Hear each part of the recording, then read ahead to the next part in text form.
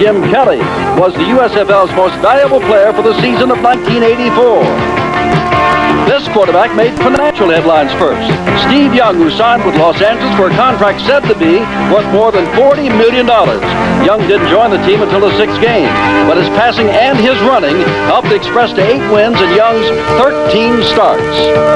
Injury cut short the rookie season of Walter Lewis, formerly of Alabama, now of the Memphis Showboats. Vince Evans was with Chicago, now with Denver, running that run and shoot offense.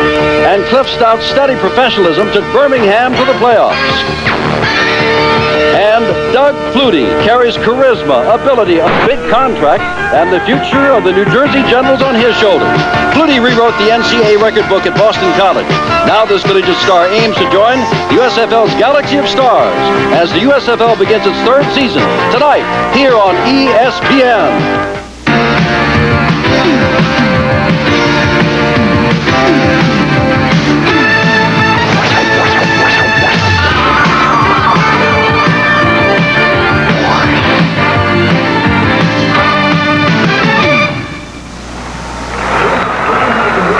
It is nearly a perfect night for this opening of the 1985 USFL season here on ESPN.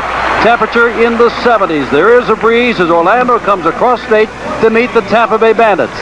And good evening, everyone. I'm Jim Simpson, happy to be back for 1985. There's some changes, there's some speculation, and there's routine in the USFL. The changes, no longer 18 teams, there are 14 teams in the USFL. The speculation, is this indeed the last spring season the USFL will play? Will they indeed go to the fall of 86, as they're promising to do? And as far as routine, for the third consecutive year, three and three tries, the Heisman Trophy winner is signed with the USFL, in this case, Doug Flutie. And this never changes. My compatriot is Paul McGuire. Let's take the speculation that changes the Heisman Trophy winner and discard them for the moment and talk about tonight's game, Paul. Orlando, ex-Washington, and Tampa Bay, a great franchise. Well, the key to the Orlando Renegades has got to be Jerry Golsteyn. The reason I say that is because during preseason, Orlando, they could not run the football. Jerry Golsteyn does not have a strong arm, 45 yards and in. Maybe that's the effectiveness of him but I think they're going to throw anywhere from the 10 to 16 intermediate routes. On the other hand, with Tampa Bay, two people. First of all, John Reaves, the quarterback. He is an excellent football player. He only appeared five times in preseason. All five times he scored. John Reaves has got another guy, Gary Anderson, coming out of the backfield. They're going to play Orlando uh, Neal Colzie on Gary Anderson to try that matchup. I don't think it's going to work. John Reaves last season threw for more than 4,000 yards, another star in the USL Galaxy. We'll come back with the game in just a moment. The crowd tonight expected to be between 45 and 50,000. Perfect weather as we start our third season of the USFL on ESPN. 79 degrees, partly cloudy. The breeze that we spoke of is out of the southeast at 7 miles per hour, and there's little or no chance of rain, about 30%. The opening for Lee Corso of Orlando, ex of Indiana, ex of Louisville, and who went to school at Florida State up in Tallahassee. This is his first championship game. He was 2 and 1 in the preseason. On the other side, one of the most laid back and innovative men in professional football as a coach, and that is Steve Spurrier. His team has won the toss and will receive. Spurrier is 25 and 11, and last year took his team to the playoffs. And of course, the last time we saw Steve was at Wembley Stadium in England when he came out in plus fours to play a game over there in July. Jim, there's no one any more laid back for a football game than that man. Here's your USFL alignment. We told you there have been some changes, only 14 teams. The Federals, of course, have become the Orlando Renegades. The Maulers and Chicago Blitz have ceased operations, although Chicago may start again someday. Philadelphia has moved down to Baltimore, actually in College Park, until the stadium becomes ready. New Orleans has gone out to Portland, where Paul and I will be in a week. Michigan has gone on to become part of the Oakland Invaders, and Oklahoma has gone on down to Tempe, Arizona to become part of the Arizona Wranglers, and they call themselves the Arizona Outlaws. And so now Jeff Brockhaus, number five out of Missouri, will kick off. He won the battle in camp. There were six kickers in camp.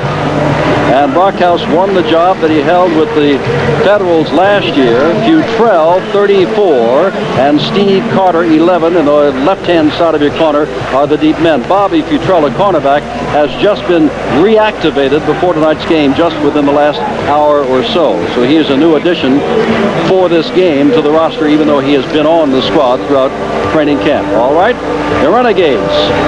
They get their first shot. They're kicking with the wind and to Tampa Bay. Tampa Bay wants Carter to get it, and Steve Carter's got it. He led Division Two in kickoff returns a couple of years ago and gets out to about the 20-yard line, and that is about it. John Reaves will start at quarterback, of course, number seven, one of the Galaxy stars of the USFL. They may use the one-back offense. If they do, it'll be Gary Anderson, 43. If they go to two backs, it'll be Gary Anderson and Greg Boone, 21. Your wide receivers, and there'll be a lot of those in the game. Willie Gillespie, 89, will start. Eric Truvillion, 84, will start. The good tight end Marvin Harvey will start, 87. Dan Fike and Reggie Smith, the tackles. Pitcock and Newton, the guards. And Chris Foot is at center. We can see it is a two tight end offense now with Jerry Price and Gary Anderson, the only man there. Reaves back to throw. Reaves across the way, intended across the way for Jerry Price, the tight end, no good. Neal Colzie in an unusual role tonight made the breakup. Scott Hutchinson, 66, Joe Ehrmann, 74, James Scott, 77, Kevin Kellen, 94, the front four for Orlando. Kelvin Atkins, 55, Jeff Gabrielson, 51, the linebacker. Colzie, 30, normally a safety, will be playing in a linebacker or rover position tonight. There's Gary Anderson going straight ahead for a couple of yards only, and down they go. Lupe Sanchez and Albert Gray are the cornerbacks. Victor Jackson and Mike Guess are the safeties. And Jeff Gabrielson, there's trivia question we keep talking about, Paul. Who's the first man to intercept a pass of Doug Flutie? He did it not once, but twice. Gabrielson. Well, the ball also hit him in the numbers. On the five on one pass, on the one on the other. The ball is third down at the 23-yard line. Initial possession. This time Larry Brodsky is in and is wide to the left. Gillespie comes out to the right, still the one-back offense with Price, the other tight end, split to the left. Reaves has the time, dumps it across the middle, and it is dropped out there, intended for Eric Truvillion. The man right there with him dropping off is Kevin Kellen, a defensive end. And Orlando has held on the first series of downs, and in comes Zenon Andrusyshyn to kick the ball away. Andrusyshyn now in his 15th year. Average 35.7 in preseason. That's what he did last year. Victor Jackson is the man deep out of Bowie State. Andrusyshyn, good kick, being held up. Jackson, no fair catch called for. Lost the ball, but it is picked up. Out is taken by Tampa Bay. What a mistake by Victor Jackson. The man was right on him, and the man that came up with the ball is Joel Blunk out of Duke, a reserve running back. And a big break there. Orlando never had a turnover until the New Jersey game last week, and here's a costly turnover. Well, Victor Jackson, when you're talking about a costly turnover, Jim, he thought he was going to fake out the defensive man coming downfield. Watch, at the last second he reaches for the ball. If you know you don't have control of the football, don't touch the ball. Then Albert Gray picked the ball up. He fumbled. Joe Blunk gets it. Look at Victor Jackson. He knew he had no choice of getting the ball. Number 26, Dwayne Anderson, is the guy that hit him. Now Tampa Bay has the ball. And Boone is the one back in the one back offense, number 21. He's a little overweight. Another Duke man, whereas Steve Sloan was the offensive coordinator. That is Boone carrying the ball, and Boone does a fair job picking up four yards as he was missed in the backfield. Victor Jackson came up to force. He got past him. Mike Guess also in. That takes the ball to the 35, second down and seven. Said he's a little bit overweight. He's about 20 pounds overweight. Boone came in, and if you remember from last year, what a tremendous football player he is. And they have not really given him the ball that much in preseason because he kind of waddles a little bit. Second down from the 35. Here's Reaves. Hasn't completed one yet. Trying to go deep for Truvillion, and he won't get there in the end zone. Truvillion does not get there. Fred Nichols, a nickel back. Actually, he becomes the dime back because Neal Colzie, listed as a linebacker, is your fifth back. All right, here goes Truvillion on Nichols. Now watch, he turns Nichols around. Nichols is 25. Truvillion hasn't beaten here. The ball's just overthrown about three yards. Eric was in stride, ready to catch the ball, but Reaves a little, little long. Now remember, the first five drives that he had in preseason, John Reaves we're talking about, scored on all five. This is his second drive, did not score in the first. First time they've had the two backs in there on third down seven. And there's a fake to Anderson. Reaves is going to be picked from behind. Back at the 45, almost fumbled the ball. It is picked up, and there goes Ken Times, and the play is alive, and Times has the ball inside the 20. Now here's Lee Corso saying the one thing I object to is the fact that you can advance a fumble. He said, even if it goes against me, I object. But in one format, I don't think at this moment Lee Corso objects. He was very adamant. Ken Times is the man that not only gets the Reaves from the backside, strips the ball. I believe it's Times. Take a look to the left of the screen. It's going to come from behind. It is Times. He knocks the ball out. Reaves goes down. Now watch what happened. Reaves' back is on the ball. Times gets it back up. If Reaves had touched him at that point, Times would have been down. The official was right on the play, but a great hustle job by Gary Anderson to stop Times from scoring a touchdown. We're in the first quarter, and there is no score. 12-23 to go and a battle of turnovers, and Orlando's got great field position.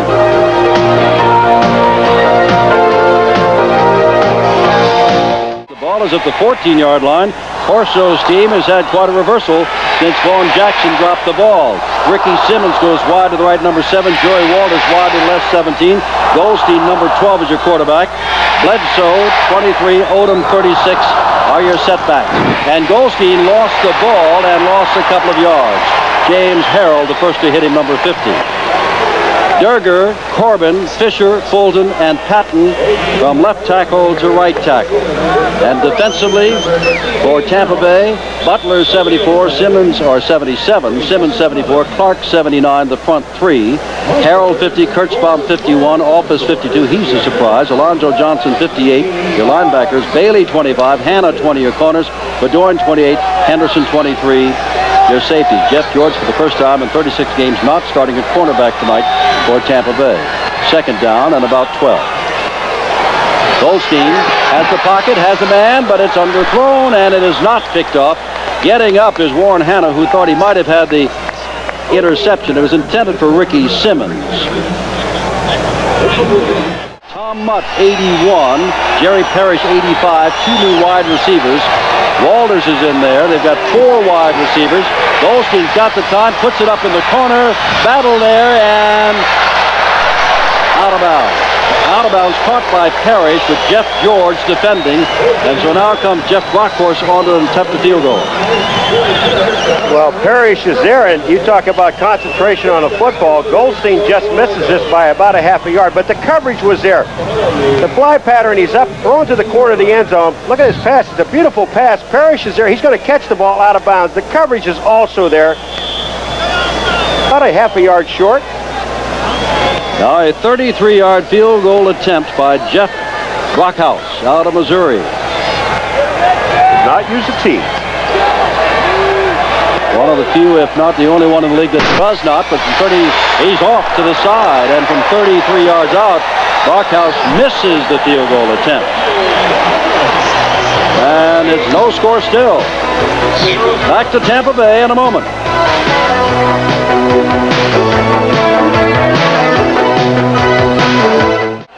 Reaves still looking for his first pass completion of the night. Quick pitch back, and this is Gary Anderson out of Arkansas. They expect big things out of Anderson, but Victor Jackson is down the bottom there, number 20, the strong side safety, who made the stop. They say, Paul, that Gary is beefed up in his chest, stronger, more mature, and everybody expects him just to have the super kind of, what, how much better can he get? You know, when they talk about this young man, you know, building up his upper chest, Jim, I went down and interviewed the players for the NFL draft that we do on ESPN, and I'll tell you, every single kid that I talked to, either backfield man or receiver, talked about his upper body strength as the thing that they had to work on. Brodsky is in and wide to the left. Reverse. And here's reverse. And that is Woody Gillespie, and he's got an open field in front of him. It was a missed tackle in the backfield, and now he's going to pick up a lot of yardage across the 45-yard line. Mike Guess finally ran him out of bounds, along with Lupe Sanchez, but there was a missed tackle in the backfield that would have been a loss, and instead Gillespie picks up a ton of yardage. I think it was Kevin Kelvin, number 68, that misses the tackle. Anderson to Gillespie. Uh, take a look at Reaves is trying to block him, and that is Kelvin, or Kellen, excuse me. He misses the tackle. Brodsky's downfield blocking. And Gillespie, it's amazing the pursuit was not there. Everybody went with the reverse. When you have that much room outside, you know that. Ball at the 47-yard line after a 23-yard pickup. There's the fake. This time Anderson keeps it, and right on top of him is Lupe Sanchez, the number one draft choice of Arizona a year ago. Number 21, All-American at UCLA. Jim, the run in the last three plays that, that Tampa Bay ran is from a triple formation. The tight end to one side, a wide receiver to one side, and they're taking Boone, the fullback, and putting him up on the wing next to the tight end. His job is to block the linebacker if the tight end doesn't get him, slide off and get the safety. Second down and 12. Ball at the 45-yard line. No score first quarter. And he may have taken too much time. May have taken too much. All those seven seconds still show on the clock. Perhaps somebody moved, Paul. All right, let me let me go back and explain something. I said that it was Kevin Kellen. Sorry, Kevin. His number was changed. It is now 94. The man, the man who was Scott uh, Hutchinson, is the man that missed the play in the backfield.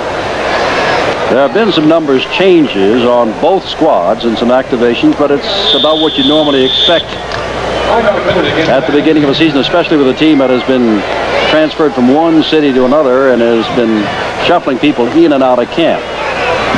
Second down now on 17 from the 40.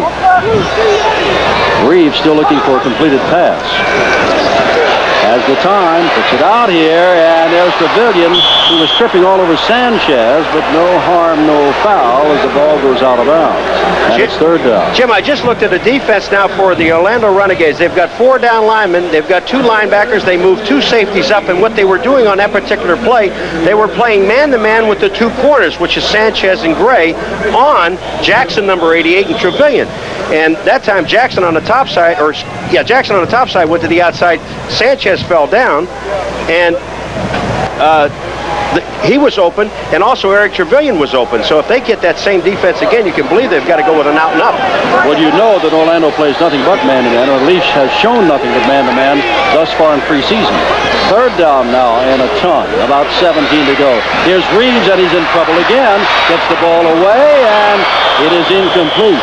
That's Gary Anderson across the way, and Kelvin Atkins was the man who had a shot at the ball, and Reaves, who had that great year last year, had a great preseason, still comes off looking for his first completed pass. The nearest anyone has come to a score as Anderson is coming in to punt the ball away is a 33-yard miss by Brockhaus. Victor Jackson, the deep man, I don't think he'll make the same mistake again.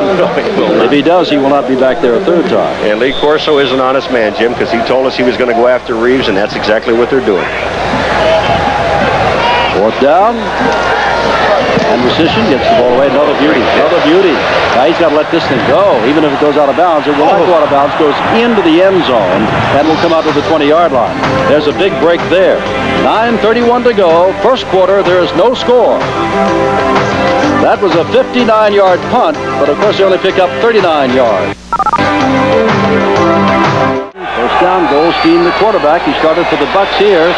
And there's his first completed pass, and that is Bledsoe coming out of the backfield and may have the first down across the 30-yard line. Alonzo Johnson, number 58, put him out. Bledsoe did not play a week ago. He's been suffering with a thigh bruise, but he's okay now. All right, Curtis Bledsoe, all he's doing is coming out. He's going to hook up about six yards. And you see Alonzo Johnson, 58, off the player. Now he commits himself back to the inside. When that happens, Bledsoe makes the move back up, picks up about nine and a half yards. They're very close to the first down. Perhaps afford to waste one here. Walters goes left and Simmons to the right. Let's see if Golsteyn puts it up. On second down on about a half a yard. Or whether he just chooses to grind it out. He chooses to grind it out, and Bledsoe's got the first down easily out to about the 33-yard line. 8.40 to go. Opening game, USFL on ESPN. Tampa Bay made it to the playoffs a year ago. And Renegades, brand new undertaking in the middle of the state of Florida, which lately has truly been able to say we are the Sunshine State. It is first down from a 33-yard line.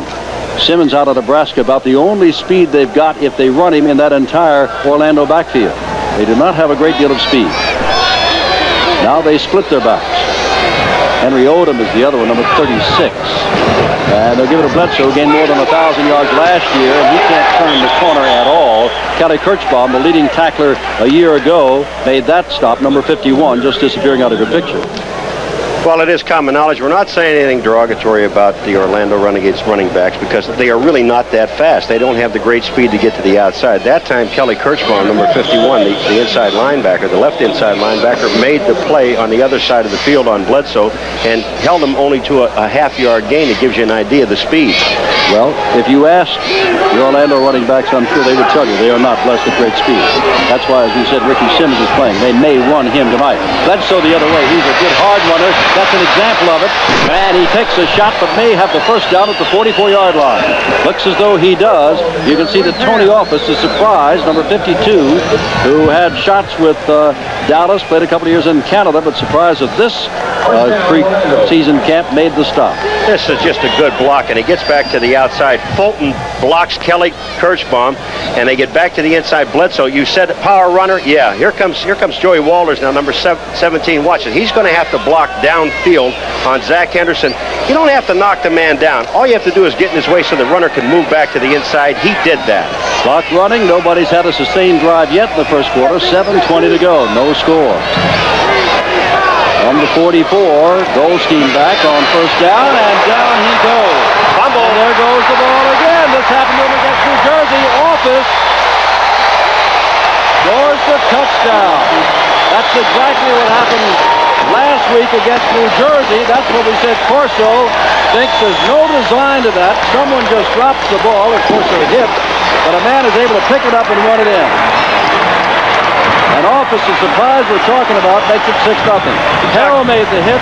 Office picked up the ball. You talk about get your lunch handed to you. That time, Jerry Golsteyn got it. They came right up the middle on the blitz and just hammered him on first down. Passing situation. Tony Office, who has been, Jim, as you said, the complete surprise of this football team, just had a great preseason, picks up the ball in his first game, regular season game, for a touchdown. You know, that happened twice. Recovered fumbles, one in the end zone and one returned a long distance against the Generals. Their first turnovers. It's the second turnover tonight. As you can see, Gillespie to hold for Andrusyshyn. You better hurry. They're running out of time. Four, three, two, one. He kicks it up, and he just does not miss those. And it is seven to nothing. Isn't that incredible? Because in talking with Lee Corso, the one thing that he wanted to talk about that he does not think this should be in football, and look what happened to him. That was Harrell, James Harrell, number 50, who was an outside linebacker, stunted with Kelly Kirchbaum, number 51. He went inside, Kirchbaum went outside, the hole was there. Tony Office picks up the ball. Now watch, you see Kelly Kirchbaum, see 51 move to his left. Now coming underneath is Harrell, number 50. He's open, the guard missed did not make the play. Office picks it up, and it's goodbye. Lightning strikes for the third time in a week. The Generals beat Orlando. Their only loss of the preseason last week, 24-14, with 14 of those points coming on recovered fumbles for scores. And now, Andrusyshyn will kick off, and Orlando, this is the moment, Paul. They not only have Tampa Bay tonight, they've got to go on to play New Jersey next week, and then Birmingham before going all the way out west. Things do not get easier for Orlando, and they got to pull themselves together if they're to get off to a good start. That's absolutely correct. Look like, you know, the cheerleaders got new uniforms this year. they think they, they forgot most of it. Here's Andrusyshyn to kick off. 7.07 to go in the first quarter. And the deep man is Jerry Parrish. Against Jacksonville, he returned two for touchdowns, one of which was called back. They got three men back there, but as Corso said, we want Parrish to return the ball. Well, Lee's got to be a little upset. He had one fumble go for him, but they didn't score, and then one against him for a touchdown. And here's Parrish at the nine. The 20, running out of room and gets about the 24, and that is about it. And initial tackle made by Joel Blunk, who recovered a fumble a little while ago. The key to this whole sack sacking the quarterback goal Golsteyn is Kelly Kirchbaum right in the middle of your screen left. You'll see him take to the outside. That pulls the guard a little bit. The fullback's already got him. You see the guard missed him. Ed Fulton, he missed Harrell totally. Red Kirchbaum, when that happened, Harrell got to the quarterback. Office gets the touchdown. Renegades down by seven in their first ever game, sending Joe Walters to the right, number 17, Ricky Simmons to the left. No one back offense this time. Odom is the up man, Bledsoe the deep man. And now, there may be movement in the line again, this time, however, against Orlando. Happened once to Tampa Bay. Ball start. Offense, number 64. That's Ed Fulton just missed the man that allowed the sack of Golsteyn that caused the fumble. Fulton, eight-year veteran out of Maryland, who played with the Rams and with Buffalo and with the Canadian Football League. Renegades have quite a following over Orlando, and the media likes them. Now, let's face it, they're doing everything they can to make the team a success, but they're starting from nearly scratch. The Federals had an abysmal season, well, the last two seasons, and they're trying to turn that around. Here's Golsteyn putting it out there, and that almost is intercepted. The coverage by Hanna was nearly perfect. The ball was intended for Simmons. That's the first time we've seen Jerry really try to throw the little short kind of pass that we thought we'd see from him more often. You know, that time you, you saw Hanna staying on Simmons. But what happened was there was a double on the outside, and we'll show that sometime during the course of the game where, where knows that he has help from Zach Henderson on the ins, on the outside deep. But that time Hanna saw Golsteyn set up right away to throw that little quick out and up. He just stayed with him, and if the ball would have been on target, he'd have had a chance for the interception. Tampa Bay by seven. First quarter, six and a half minutes to go, second down and 15.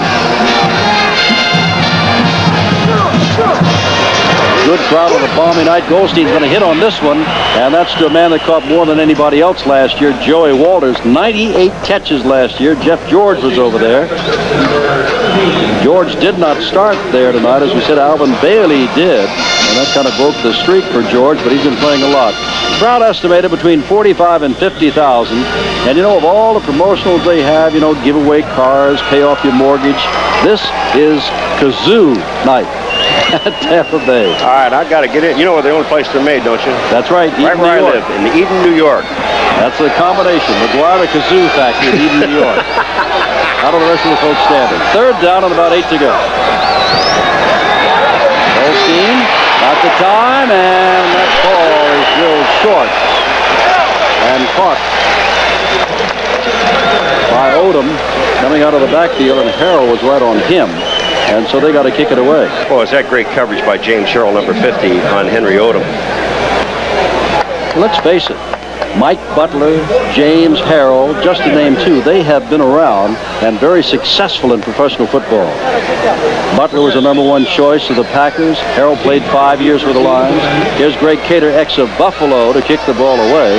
He hasn't kicked for him yet at all. And he does not get a good kick away here. The ball may turn. Whoop, it is caught there on a fair catch by Steve Carter. Outstanding field position just over the 35. 5.40 to go. 7-0 Tampa Bay. And now John Reaves will try to really get that offense in gear. Jim Simpson, Paul McGuire, our first of 50 games of the USFL to be televised on ESPN, three a week, all through to the playoffs in July. Ball at the 36-yard line, Tampa Bay leading by seven, first down for the Bandits. They love their bandit ball in the Tampa area. Either a bandit fan or a buck fan. And here's Reed still with the ball, flips it out here, and the catch is made, and Gillespie tries to on his feet and now does the wise thing and gets out of bounds as Kelvin Atkins had him in his sight. Atkins number 55. Jim, you want to see how good a 35-year-old playing his game is? Joe Ehrmann, number 74. Watch the move he makes right here. Look at that little spin on Newton back to the outside, and then Newton grabs and That's holding. But Joe Ehrmann made that initial move, then bang back around, swung around to the outside, was there, almost got to Reaves, but he was held. He was a number one draft choice of Baltimore back in 73, now studying for the ministry in off-season. It is second down, a loss on the play, second and 14. Anderson is way wide to the right. He's not been effective tonight, but he has handed off. Now they got him out as a wide receiver, and they're going for him, and he is clear, but the ball is thrown wide and out of bounds, and Reaves is standing with a hand on his hips. He knew he had his man, but he just threw the ball past the sideline and out of bounds.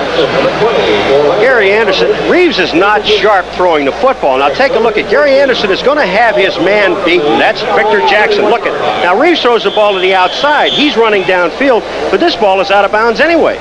He would have had, wouldn't have had any chance In fact, the cameraman caught the ball. Third down and 14 from a 32. No offense by either team yet. The only touchdown on a fumble return for a touchdown.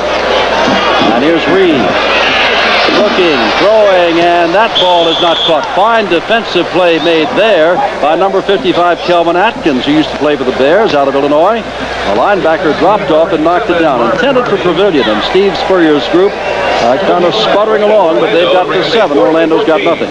He is not happy with his offense, and the reason that time, if you take if you take a look at it, you know, Jim, they had two players in the same position. That brings all the defense there. They only played their number one offense very sparingly in preseason. Andrusyshyn's been punting well. Victor Jackson has a chance on this one. And Jackson is, well, he gets away and gets away again. And Jackson has a fine return across the 40-yard line. And the Orlando Renegades will have uh, Jerry Golsteyn and company in much better field position. Remember, at one time, they had the ball at, on the 14-yard line first down and did not score. Now, with the 14 teams instead of the 18. I like this. You can tell the teams of their east and their west. These are all eastern teams. Baltimore, Birmingham, Jacksonville, Memphis, New Jersey, Orlando, Tampa Bay. Now let's go west. These are all western teams. Arizona, Denver, Houston, Los Angeles, Oakland, Portland, San Antonio. East seems like east, west seems like west. That's as it should be. I like that. You're smiling. it seldom is in any sport that you get them really down the line like that. First down, Golsteyn and his team looking for something. Bledsoe's a bit about their only offense. And here he gets three yards before James Harrell, number 50, makes the stop. Out at the 45-yard line. Ball at second down and seven. And the clock shows 4.25 to go for a quarter. to go under us. Tell you what, there's some good games coming up tomorrow. Of course, Doug Flutie makes his debut playing for New Jersey down at Birmingham. But Houston with Jim Kelly at Los Angeles with Steve Young tomorrow afternoon also. That's another outstanding matchup of two top young quarterbacks. Ricky Simmons wide to the right and Walters to the left.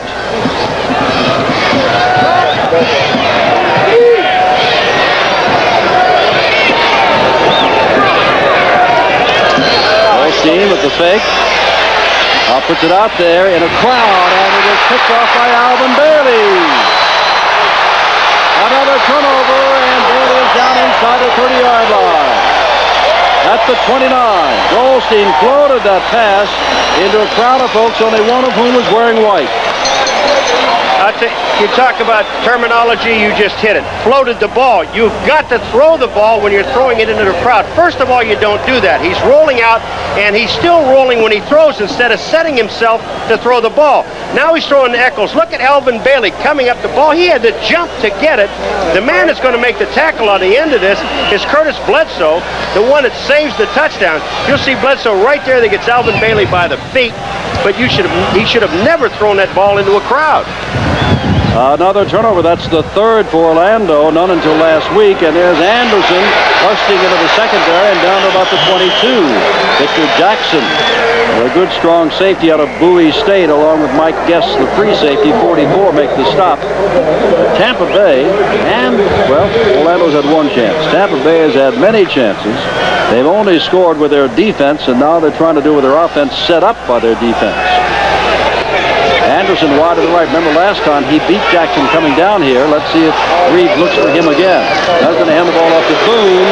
And Boone has Mike Guest wrapped around him, but Boone's got the first down inside the 15-yard line. A little added weight helps. That's what he's saying to the coach. He got to the hole very, very quickly. He has not lo- looks like he hasn't lost his quickness anyway. As Boone was there, that hole was open. They don't spend much time in a huddle. Gillespie to the left, Truvillion to the right. First down from the 12-yard line. Orlando must not only hold, but they've got to generate some kind of offense. Reggie Collier can't play tonight. There's Reaves, he's going to float it, and that ball is almost intercepted by Guest and then almost brought down by Truvillion. But it's incomplete. I, I, think that time that Reaves was trying to look for a pass interference penalty on Truvillion because he throws this ball, and there's going to be three people out there when he's throwing to Truvillion. There's one, there's two, there's Guest, there's no almost. there. But when you're talking about holding at the, at the line of scrimmage by Lupe Sanchez, number 21, didn't get it, but he still threw it into a crowd. Now they have two wide receivers to the right and Anderson to the left. Spencer Jackson has joined Truvillion on the right side. On second down, guessing on the blitz, and Boone gets down inside the 10-yard line, and that is all. Atkins makes the stop. They had a safety blitz on at the time, but they went away from the blitz. And now it's third down. And long yardage to go, but they are inside the 10 at the 8. That situation where you put Eric Truvillion, number 84, and Willie Gillespie, uh, number 89, on the same side, and then take Gary Anderson, 43, to the other side wide, with only Boone in the backfield, it is a passing situation. That time he audibleized to Boone and picked up a few. Well, they've got the same kind of situation now. Gillespie Truvillion to the right and Anderson to the left. Reaves rolling to the right. Reaves looking. Reaves throwing, and that ball is caught and may be a first down. That's Gillespie with Albert Gray on him, and he may have enough for the first down, and does. It should be first and goal to go. Jim, this How is going to measure. All right, this is strictly rollout by Reaves. Now watch, he's got Boone blocking for him, and he knows he has time. Now watch what he's doing. He's waiting for the Gillespie to make the break. Now he tells him, go to the inside because you're covered. He threw the ball on the run away. It was a good pass, but he threw it back to the inside where Gillespie can make the catch and fall down for the first down. I got to believe he has it. Well, the lines person was lined up as though he had it. They called for a measurement, and he does not have it. Oh, you go. You got to go. Got to go. Fourth down and that much to go inside the five. They lead by seven. Dan Fike is looking to the sidelines. No one has called time. 127 to go in this rather long first quarter that has been punctuated by turnovers, which I guess goes with the opening game of any season in any sport. Exactly. And but one thing though, not too many penalties. There were two movement in the line, one by uh, Tampa Bay, one by Orlando. Uh, but that basically all it is, and that that seems to be sound football when you don't make that many mistakes. Of course, we have three more quarters to go. Two tight ends. They'll use the I formation. All they need is a couple of inches. Your guess, Boone or Anderson? Sneak.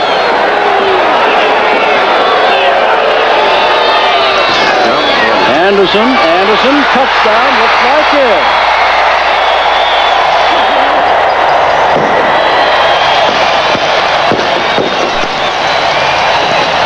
Jim, they go to the left because Dan Fike, number 73 and 64, Chuck Pitcock, they're over there. And take a look at the left side. 73, and then Price is also the tight end. There's the man that gets the block. Price just put Colzie, number 30, on his back. What that happens, watch the tight end, 86. You see Colzie?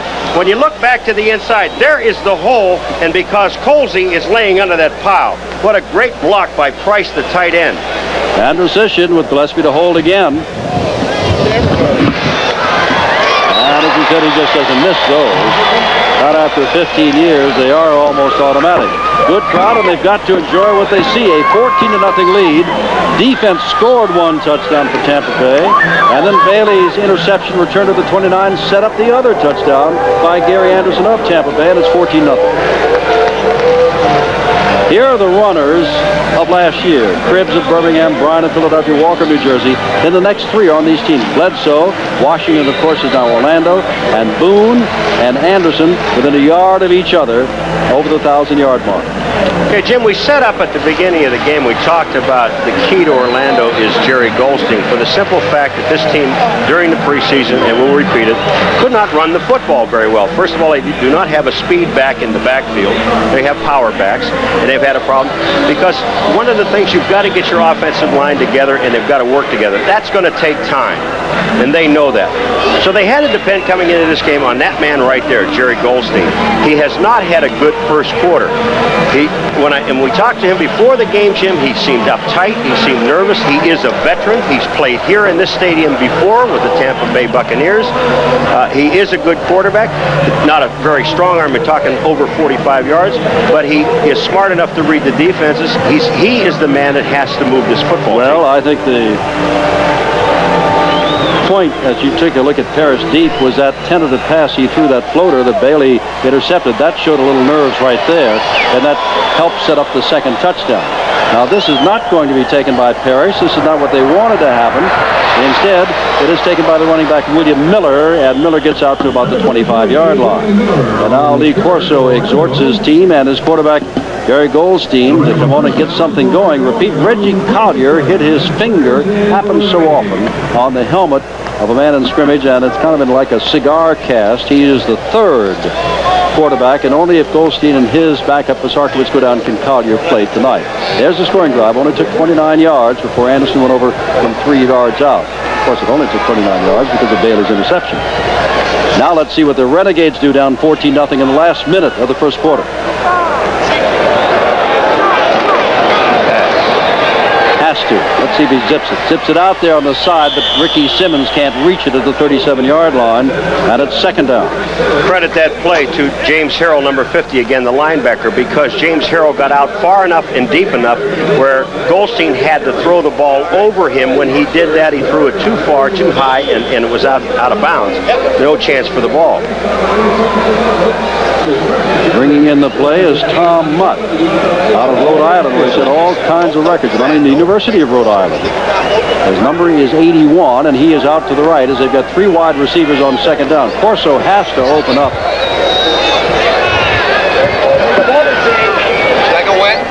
And here is Golsteyn. He's got the time, and he throws it to the up man, and Mutt can't hold on to the ball as Harrell throws him down. But Jim, you're still only throwing a two-yard pattern. I mean, you've got to you've got to go downfield with it anywhere in that 10 to 12 yard area.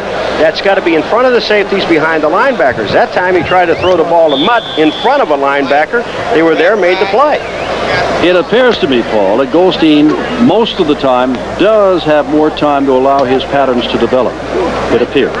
Well, agree or disagree? I agree with you. Uh, another thing too, that what you have to do in a situation like that, when the linebackers are dropping that far off, you've got to throw a screen pass in there somewhere or run a draw in there somewhere. Of course, it's third and ten. There's Golsteyn under pressure this time, and down he goes at the 15-yard line under big pressure from Alonzo Johnson and Fred Nordgren, who was the man who actually made the sack. Number 68. He had a great preseason, even though Simmons started over him tonight. You credit the defensive secondary first for this because watch Jerry Golsteyn has no one to throw the football to. If he would have looked to Bledsoe coming out of the backfield, he might have been able to hit him, but then you have Fred Nordgren, number 68, in your face, and that's not a lot of fun. Remember, Greg Cater did not have a good punt his first time. And that's short and wobbly a second time, but no return. And gets the good roll. Gets the Orlando roll inside of 35, down to the 32.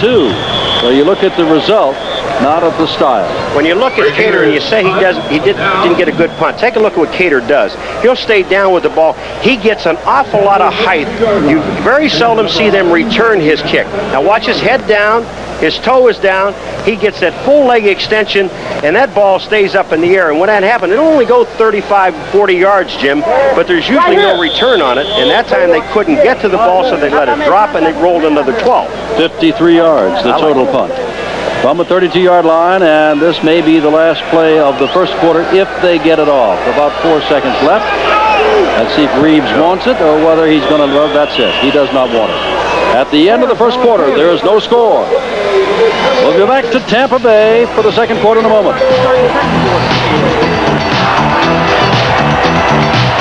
14 to nothing Tampa Bay, thanks to their defense that scored one and set up the other touchdown in the first quarter. First down, John Reaves hands the ball off, and there goes Anderson. He is something else again. They won't catch him now. All the way for 68 yards and a touchdown.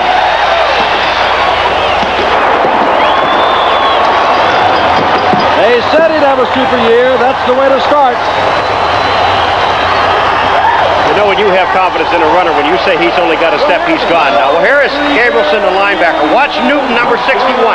This is when you have to stay with the linebacker.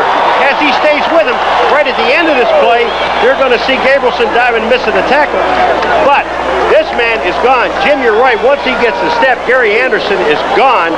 But Newton, Daniel Newton got a great block on Jeff Gabrielson, the middle linebacker, and it was all over. Newton only weighs about 303.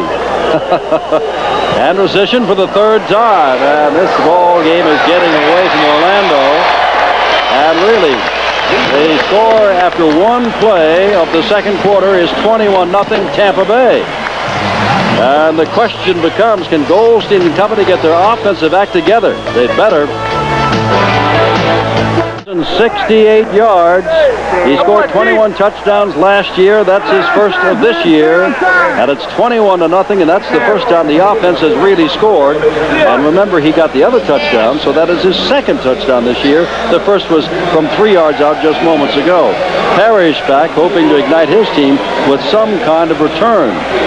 Orlando has done nothing with the exception of 10 times stripping of the ball and returning to the 14-yard line. And Parrish gets back across the 20 to about the 24. And now we'll see what Golsteyn does, but before we do, let's watch Anderson again. All right, first of all, take a look at 62. Freeze right there. He goes down and takes Ehrmann to the inside. That releases Nat, releases Nat Newton. All right, Foot has Ehrmann. Here comes Newton on Gabrielson.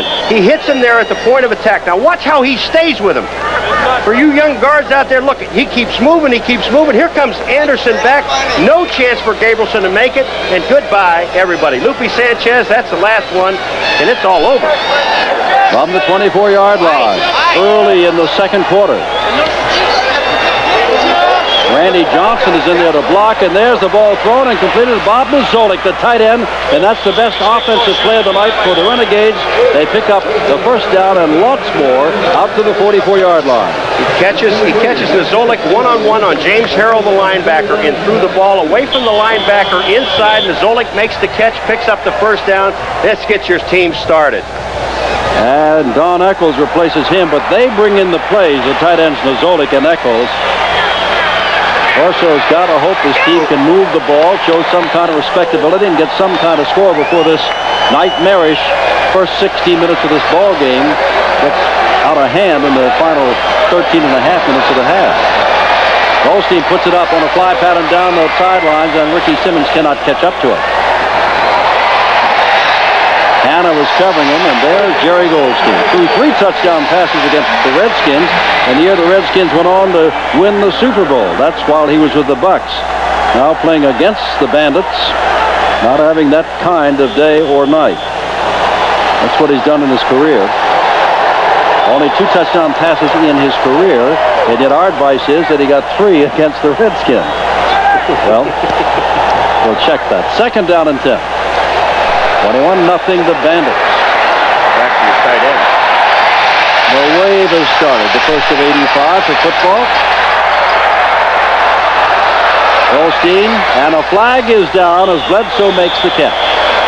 Bledsoe made the catch, not enough for the first down, I don't believe, but a flag went down. That's the first time away from the line of scrimmage that a flag has gone down. It would probably be on Alonzo Johnson, number 58. It's going to be a first down. We'll see. Kind of a shell shock situation. Only 13 of the Federals remain on this ball club. You know, Jim, you mentioned the wave. This is when the people in the hometown should start a wave. When the other team has the ball, not when your team has the ball, because your offensive players can't hear the signal. When the other team has the ball, go ahead with the wave and scream your brains out. Orlando on defense lost linebackers Mike Murphy, Kenny Banks, and Ben Apuna all out to injury. And they've been patching there. They accept the penalty, moves the ball to the 41. Pass interference. Defense. Number 23. Number 23, First Zach down. Henderson, that is called on. But Steve Spurrier's team, despite the 21 points, has not had a sharp outing in this first quarter plus. Nor has John Reaves as quarterback. It was a nice handoff to Gary Anderson, though. Oh. I'm called again at the ball, and they're sending the players back for what reason, I don't know. Oh, they're moving the sticks. The sticks had not moved after the penalty, so now across the field you can see them moving the sticks down to the 41. And that rule applies. They will start the clock now after a penalty. On the ready. Now the clock starts. Against New Jersey last week, Golsteyn completed 23 or 35 for a couple of touchdowns. Randy Johnson remains in the backfield along with Bledsoe, and he's got the ball right now. There's the draw you're looking for, Paul, and picks up perhaps five yards before James Harrell peeled back along with Walter Carter, 75 to make the stop. Yeah, you have you have to run sometime when you have the linebackers as good as the linebackers are with Johnson, Office, Kirchbaum, and Harrell for Tampa Bay, and they drop off so far. You've got to run a draw play or a screen, and or you know you can we can run them both one back to back to keep those linebackers on us so they can't get out and help out on the outside people. Second down, five to go. Bledsoe. Bledsoe's a good tough runner. Look at that effort of his. It'll be third down and short. His body bumped down and out of bounds by Jeff George and Ron Simmons. And James Harrell is taking himself off the field. He took a wrap. Let's watch James Harrell. Here he is on the outside, right? He goes down with the tight end. Now the back coming up. Johnson the block on him. Harrell gets away from the back, but he gets hit again. He got hit by three people, still ended up helping out on the tackle. Office also, I'm sorry, Paul. Office also comes out as Harrell is being attended to, but nevertheless they've added extra down linemen up front on third down and about a yard and a half to go.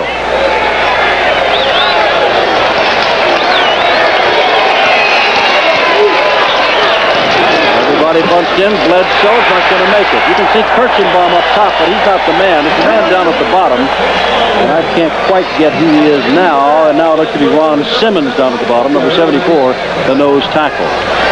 You'd said Kelly Kirchbaum made the play, Jim. What the what the middle linebacker has to do now? He has first of all he has to determine who's getting the ball. He sees that. He fills in, hits the fullback Johnson. Simmons is on the bottom. Excuse me, that was Mike Butler, Mike number Butler 77 on the bottom. But but Kelly Kirchbaum hits the fullback Johnson, stops him. Bledsoe had no place to go. He actually makes the play. Got help from Carter or Butler, and the play is stopped. And they they lost about a half a yard. Fourth down, and they got to go for it. And now they're trying to go outside. Bledsoe's not going to get outside, is he? He's going to lose. And the big play there made by Zach Henderson, the free safety out of Oklahoma, number 23. You know who makes the big play? He does make the tackle, but Kelly Kirchbaum. Watch number 51, what he does to the defense or the offense as they come. Kelly Kirchbaum's moving along the line of scrimmage. Now he's going to knock the tackle back in Corbin, back into the player. You see Kelly on the bottom? Then he gets help from his friends on the outside, Johnson. But Kelly Kirchbaum is the one that took Corbin, the guard, trying to get to the outside, knocked him back into Bledsoe, and he got help from Johnson. It's all over. You still see more than I do on the field, friend. First down, Tampa Bay takes over. That is Truvillion in motion for Tampa Bay. They lead by 21. Anderson 68 yards the last time. About three yards this time to the 40-yard line. Mike Guest, number 44. And number 51, Jeff Gabrielson down at the bottom. And it's second down and seven. I don't, I don't think Neal Colzie's going to like this position for a long period Oh. of time because on that toss that time, Dan Fike, the tackle, just moved out and, and blocked on Colzie. They've got to give it like 100 pounds difference in there. And Colzie said, wait a minute. Colzie normally is a safety man, and they're playing him as kind of a monster man, a rover man, but he's filling in the spot, not necessarily playing the same position as a linebacker on that side. Here's Reaves, and he throws it right past Anderson coming out of the backfield and just over the head of the umpire who had to duck to get out of the way. Third down and seven. Right now. Clock stop, 10.27 to go. Second quarter, Tampa Bay 21, Orlando nothing. Defense either scored or set up the first two touchdowns. 68-yard run by Anderson the second. Reaves not having a great night. 2 of 11 thus far. You hit it on the head, Jim. The defense is there for Tampa Bay. Their defense is strong, very, very strong. It's obvious. But the offense, uh, they again, you said something about. We'll get back to it in a minute. But they didn't play that much the first team in preseason. Not the offense. Truvillion right, Brodsky is in and left. One back offense with three wide receivers. And here's Reaves looking for one of them, and that is Gillespie, and Gillespie makes a fine catch. No, they said it hit, and Gillespie still it. Juggled the ball and hit the ground. And that time, Colzie, who was hit by the tackle on the play before, is all the way back downfield, along with Victor Jackson in double coverage. Neal Colzie looks like he lost the ball because it looked like he might have been in position. See, there's Colzie there. He turned the wrong way. Gillespie has the ball. The ball hits the ground, bounces up into his chest. The official was right there, Jim. That's a good call. Big play because it's fourth down. And Andrusyshyn in the kick for the first time, kicking with the wind. He had three great punts against the wind, and now with the wind, he gives a line drive, and Jackson takes it to 23-yard line. 10-13 to go, 21 to nothing. Tampa Bay leads. And now again, the Orlando offense has to get something going. With the clock in preseason experimenting in the USFL, uh, quickening their games. And with that in mind, we'll tell you that this game is now about one hour old, and we've got better than 10 minutes of playing time in the first half. So maybe they'll want to take a closer look at that quick clock, quicker clock as the season goes on. We did that game in London, and I enjoyed it. Took about two hours and 15 minutes. First down. And here's Golsteyn. Got to get something going. Hey, there's a throw underneath. He gets his tight end, Zolik, who's made the two catches tonight. That gets the ball out for a five-yard gain when we'll take the Zolik out, and Echols will come in with the next play from the bench. Warren Hanna, number 20. They're playing zone defense here, and I'll tell you how you can tell. Watch this. He's going to release the wide receiver, Simmons. He sees the throw to Zolik. Now he comes back in. Here's his play. He makes the tackle. It's good hustle by the corner. Ball on the 30-yard line. Good crowd about it. Why not? Temperature game time 79 degrees. Golsteyn, 5 of 15, actually with a better record than Reaves, but Reaves' team leads by 21 points. Golsteyn puts the ball out, and it is caught again, and again is the tight end, and that is Echols, and he is very close to the first down at the 34-yard line before he is knocked backwards by Kelly Kirchbaum and Tony Office. Alonzo Johnson also, the linebacker city, as Echols caught the ball. Alonzo Johnson, does he love to make a hit? Now watch when the Zola catches the ball. He's going out to help out. Here comes the Zola. Echols. Here comes the Zola, or uh, Johnson on Echols. Makes the play. Getting some help from, from Office is there. There's Kirchbaum. You're right. They're all, all there. there. That's teamwork. First down. Ball at the 34 and a half yard line. Alonzo Johnson, he is the blitz man. He is coming. They like to put a tight end so he's got to take a extra body width before he can get to the passer, stepping around him.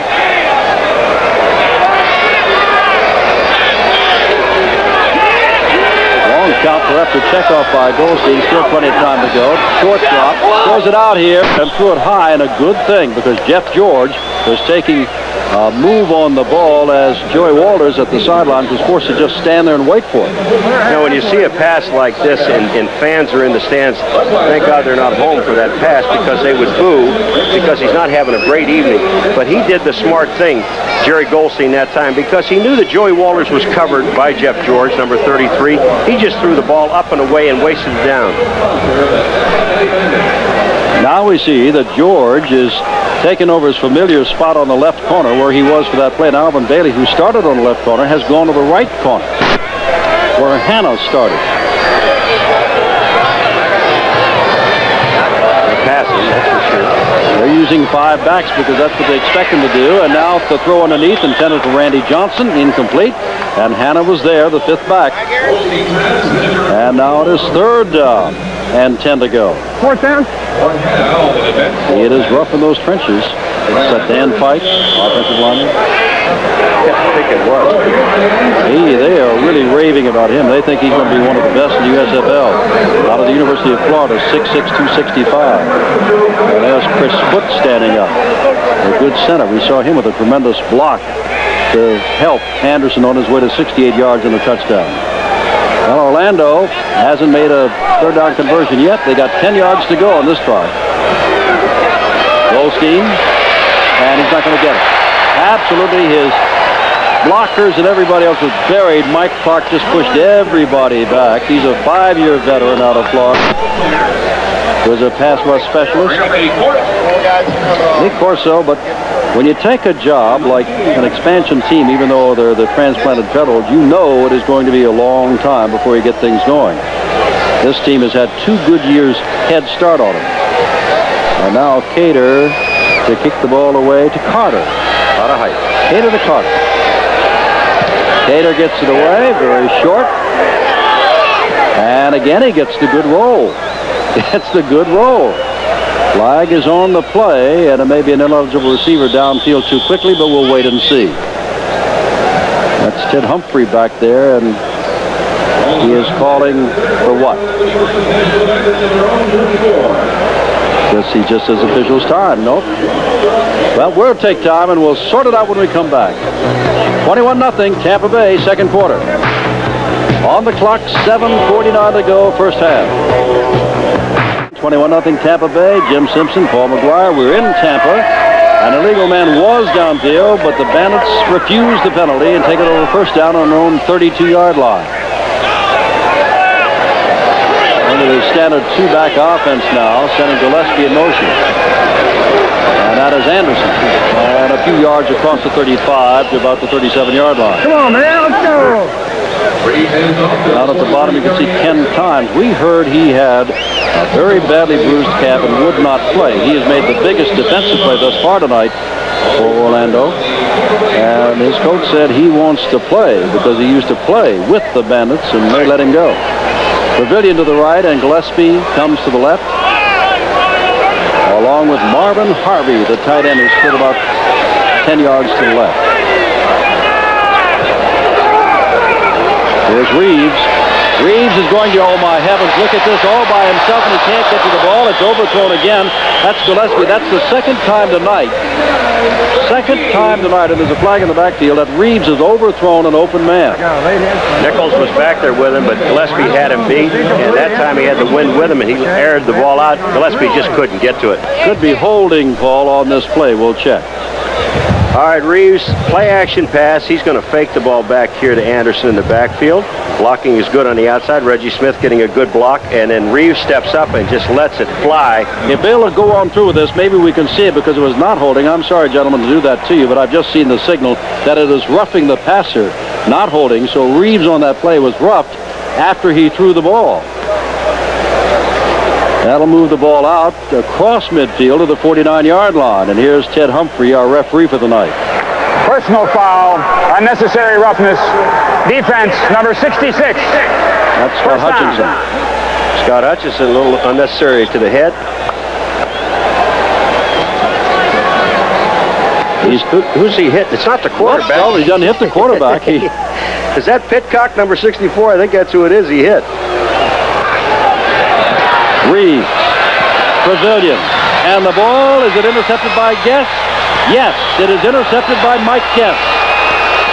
The free safety out of Ohio State. And there's another turnover for Tampa Bay. That was 6.42 to go. Orlando gets yet another shot with the football. They haven't been able to do much. Jim, what I don't understand, we're seeing two experienced quarterbacks that are throwing the ball into double coverage. Lupe Sanchez is back there. Look at Guest comes up and takes the ball. That's strictly double coverage. You've got to be able to see white uniforms. Second quarter, 21 to nothing. Tampa Bay leads. Reaves intercepted. 6.42 left in this first half in Tampa. First down. Let's see if Golsteyn and company can get something going. That's Johnson and first ball is right there to wrestle him down to the backfield. Randy Johnson took what? Half a step, quarter step before Kirchbaum was right there. Well, Jimmy had nowhere to go, and you credit the defensive line up the middle for the play because when Johnson was going to do that, there was nowhere to go, and Kirchbaum there. Look at, look at these stats for quarterback. Look at Reaves, one yard passing the ball. He threw for more than 4,000 last year, and his team leads 21 nothing. You know, you got to understand they take the sack time off of that also, so that's why the one yard is there. John not having a good game. Second down, 13 to go. Golsteyn has the time and throws to Randy Johnson out of the backfield. Good move there, and Johnson is within a yard or so of a first down. Third down and short to go. Bumped out of bounds by Dwayne Anderson, number 26 out of SMU. This offensive line of Orlando, they're doing a pretty good job. Let's watch him now here. You got a three-man rush. No linebackers are coming. There's a stun in there. Good blocking by the offensive line. Time for Golsteyn to throw. He gets the ball out to Johnson. Johnson showed good balance on that run, Jim. Got him back. It's third and one. Picked up uh, 11. About a yard to go. Remember, they had two cracks at it down at the other end of the field. Running the ball. One time Bledsoe lost about a half a yard, then he lost about three. Let's say give it to Bledsoe again. Now they give it to Johnson this time, and Johnson is battling, and I don't think he got it. I don't think he got it.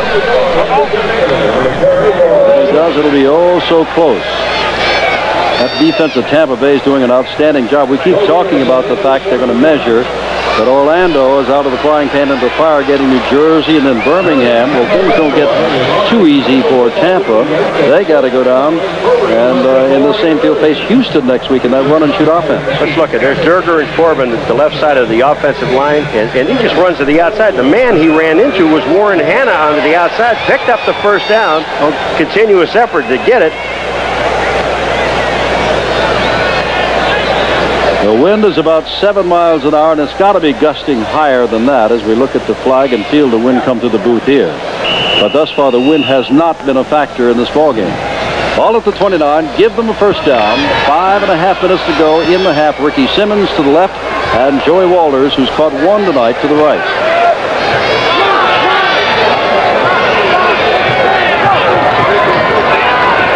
Golsteyn all the time in the world. Oh, that's a bad-looking pass right there, it's off the hands of Joey Walters. That ball was wobbling, and it may be because he threw it into the wind. Jim, they've got to go back and uh, from upstairs, they've got to come downstairs and say, okay, they're sending the play, play in with Echols. Now throw the ball to Johnson, the fullback, coming out of the backfield because you've got the middle linebacker, Kelly Kirchbaum. Now he's coming out, but the middle linebacker was covering the fullback coming out of the backfield, and Johnson is open for about the first six yards. 21 nothing Tampa Bay, Orlando. Going to get something going. Look out, Golsteyn. Here they come. You can see Clark and you can see Zach Henderson. Keith Clark, fifth-year man out of Memphis State, and Zach Henderson, eighth-year man out of Oklahoma, made the sack. And that's their fourth sack tonight, and it's third and very long. All right, let's look at Ed Fulton, number 64. He's blocking right at the line of scrimmage. He's got his job. That's Carter he's blocking. This looked like it was going to be a screen. You see, watch this, the line move to the outside. But the only problem is that Clark and Zach Henderson, the, the safety and the, and the linebacker on the outside, they were blitzing, had no time to set it up. Orlando trailing by three touchdowns, and they've yet to convert on third down, and it is third down and 18 from the 20. In trouble again. Steps out of it. Gets the ball away and overthrows Ricky Simmons, and Zach Henderson lets the ball go right. There you see Nebraska not able to get it, and Oklahoma dropping it. Big eight. Jim, again, Jerry Golsteyn must set himself when he sees people that are downfield and they're wide open. That time he had Simmons wide open downfield. But watch what Golsteyn's going to try to do. He's going to throw the ball on the run. Instead of a stop, set, and throw, he overthrows Simmons. Here's Zach Henderson. That's why he's on defense and not playing offense because of his hand. Greg Cater to kick the ball away. Odom is the blocking back. Puts the ball away. That's his best of the night, and that is into the wind. Backing up Carter, who drops the football. They're still battling for it. It is still up for grabs, and Tampa Bay, I do believe, has it. Back inside the 25-yard line as Wayne Anderson jumps on the ball at about the 23. A couple of opportunities, and it looks like that uh, Anderson comes up with the ball. Well, that was Lupe Sanchez is down there, and Carter just, just let the ball go. Now you got Johnson down there knocking the ball around. Was that Echols, 88? I think that was Echols, and then we get Anderson again that, that picks up the football. Put the ball between the 21 and 22-yard line. 4.25 to go. A reminder about our big game. Number one in the country in basketball is St. John's. Number two in the country is Georgetown. They face each other as the Big East campaign rolls and winds down. And you see Wednesday night at 9 o'clock live here on ESPN. On the 21, Reaves to Anderson, who's caught in the backfield by number 77, James Scott. Scott out of Clemson makes the stop. High hopes for him. 68 of those 91 yards of Gary Anderson on one play for a touchdown. This is supposed to be a quick draw to Anderson, and you're right. James Scott, number 77, makes the play. Now, whether Anderson breaks away from the hole, Newton, Nat Newton is the man that missed the block on Scott. Scott played the play well. Anderson, you can't really tell from that angle, could he move to the inside? He's got two touchdowns tonight. Reaves, with a bad night tonight, is trying to rectify that and hits his man right on the numbers, and that is Eric Truvillion. And Truvillion has enough for the first down out near the 35-yard line. Jeff Gabrielson, 51, makes the stop, along with 21, Lupe Sanchez. When you give Eric Truvillion this much room, he's going to burn you. Watch Lupe Sanchez. He's looking back. It looks like he's looking back at the ball. He took his eye off Truvillion. He breaks to the inside. The ball is on target. Lupe's there, but it's already a first down. 24 catches for touchdowns last year, Eric Truvillion.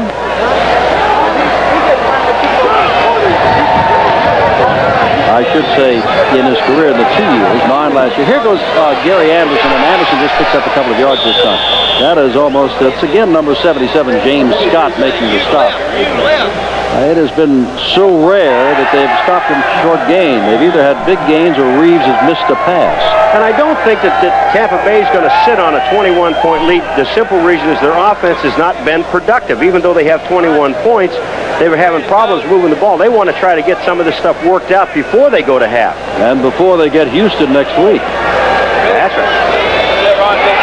Second down. That'll be a different breed of cat when Jim Kelly comes in with all those wide receivers running all over the place. and now Reaves calls time. Coming down to the two-minute mark, five seconds to go, and he called timeout. He was running out of time. He only had That's two right. seconds left on the, on the uh, clock. So he had to call time or take the five-yard penalty. Expansion football team is exactly what it is, and they're trying to put some things together. They had an awful lot of injuries. Let me add something to that once this play is over. Look at everybody practically on the line of scrimmage on second down. They'll begin to drop off, try to put pressure on Reaves if they can, and Reaves is out there to Gillespie, and that time Willie might have had a chance to catch the ball, but it is through his. Now, the one thing that impressed me in uh, Lee Corso's discourse this morning, he said, you got to realize this is our first road game together ever. That's right.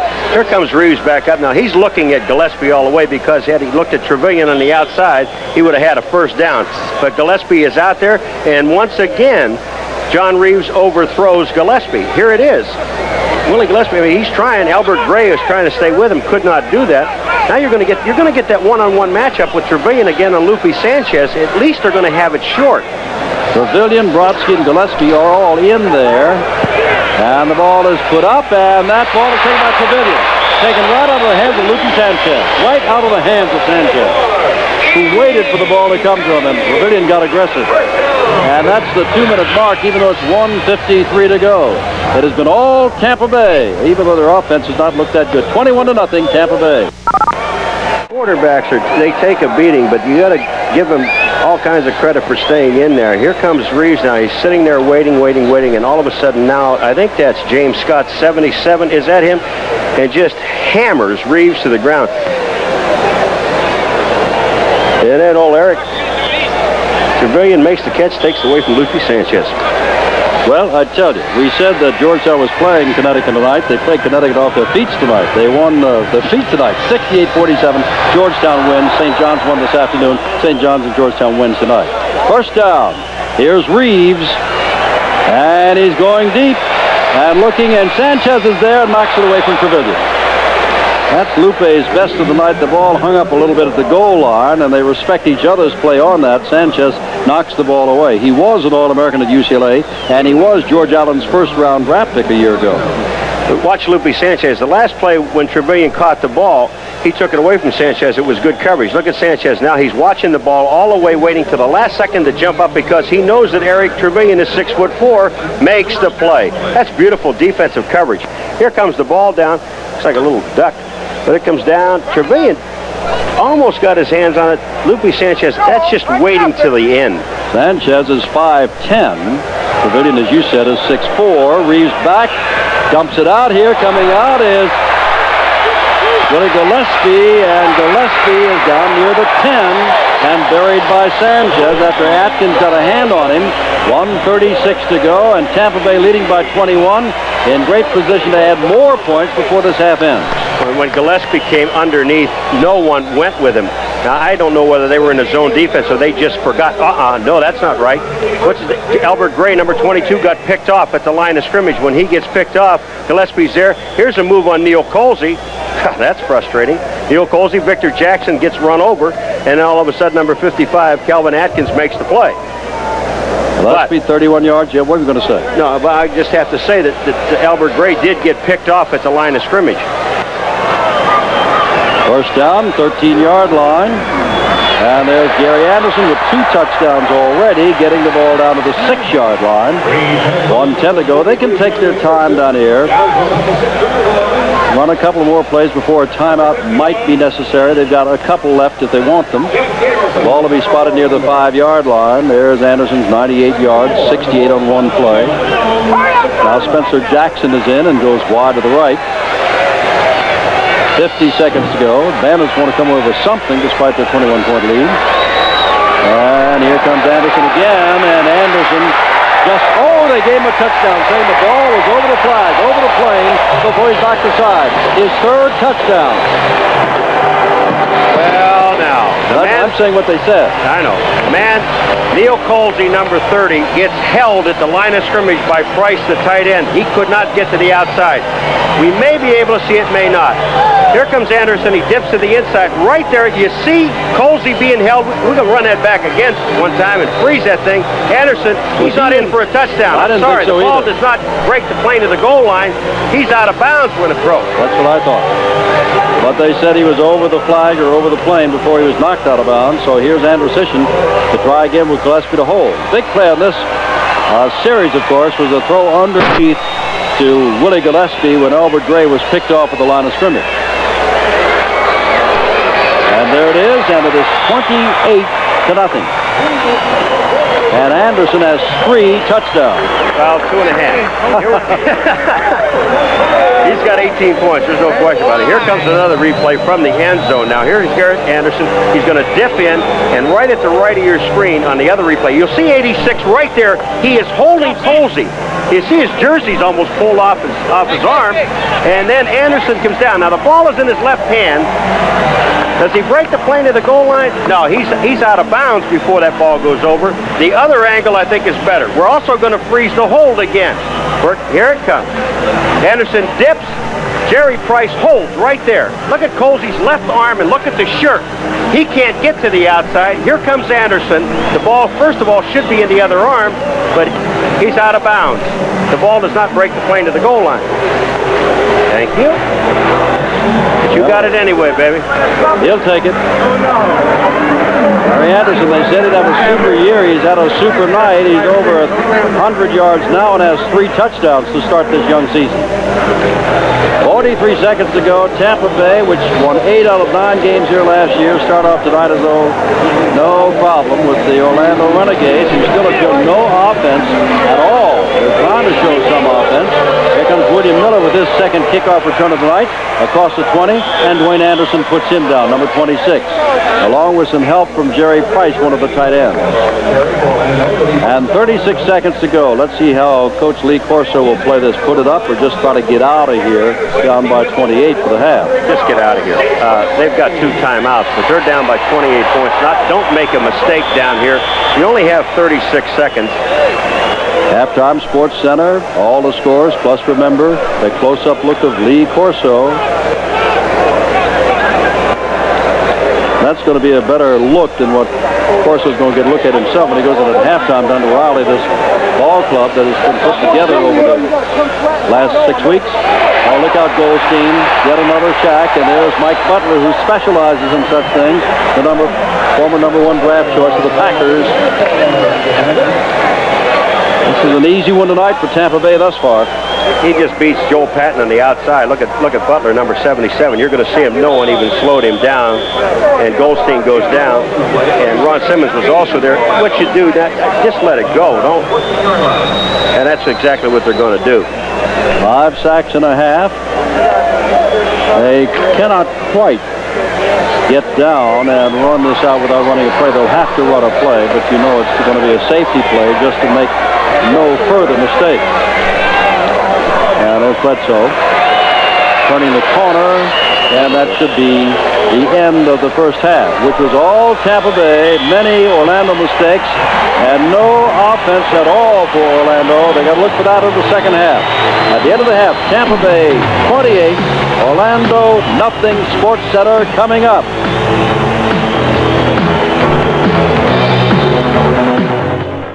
Total yards. Tampa Bay 191, 85. 85 will never win you anything. The passing, five completions for 18 yards, seven for 18. That's just, you know, that's crazy. And five for 18 well, passes. I'm saying five for 18 passes, seven for 18. That's that's crazy. The passing yardage is not there. And we're looking at two teams that we thought at the beginning, it depending on the quarterback, they are not doing it. Gary Anderson is doing very well for Tampa Bay. Thank you. He has scored three touchdowns. Zenon Andrusyshyn to kick off, and Jerry Parrish, again the deep man. And Orlando, always the first possession of any half, or any possession is important, but Orlando really has got to get something going here. This is Parrish getting across the 20 to about the 23 where he is buried. Now Orlando, well, as you take a look at their possessions, there's really not much to see. There isn't, Jim. They, they, they missed the field goal when they had a golden opportunity, and I would imagine that Brockhaus now will use a T. He just is not going into this game. They're fumble, punt, interception, punt. They've just been not been able to move the football, and you credit that to the Tampa Bay defense. Look at this. You get, and then they're four downs, and they lost the ball over again. Another punt, a punt, and then a halftime came. They're just not doing anything offensively. All right, it is Bledsoe and Odom in the backfield, and Golsteyn is your quarterback. Two wide receivers. And Golsteyn throwing underneath and run out of bounds as Zolik with his third catch of the night. And Harrell took him out of bounds, but that's a pickup of about five to the 28-yard line, second down five.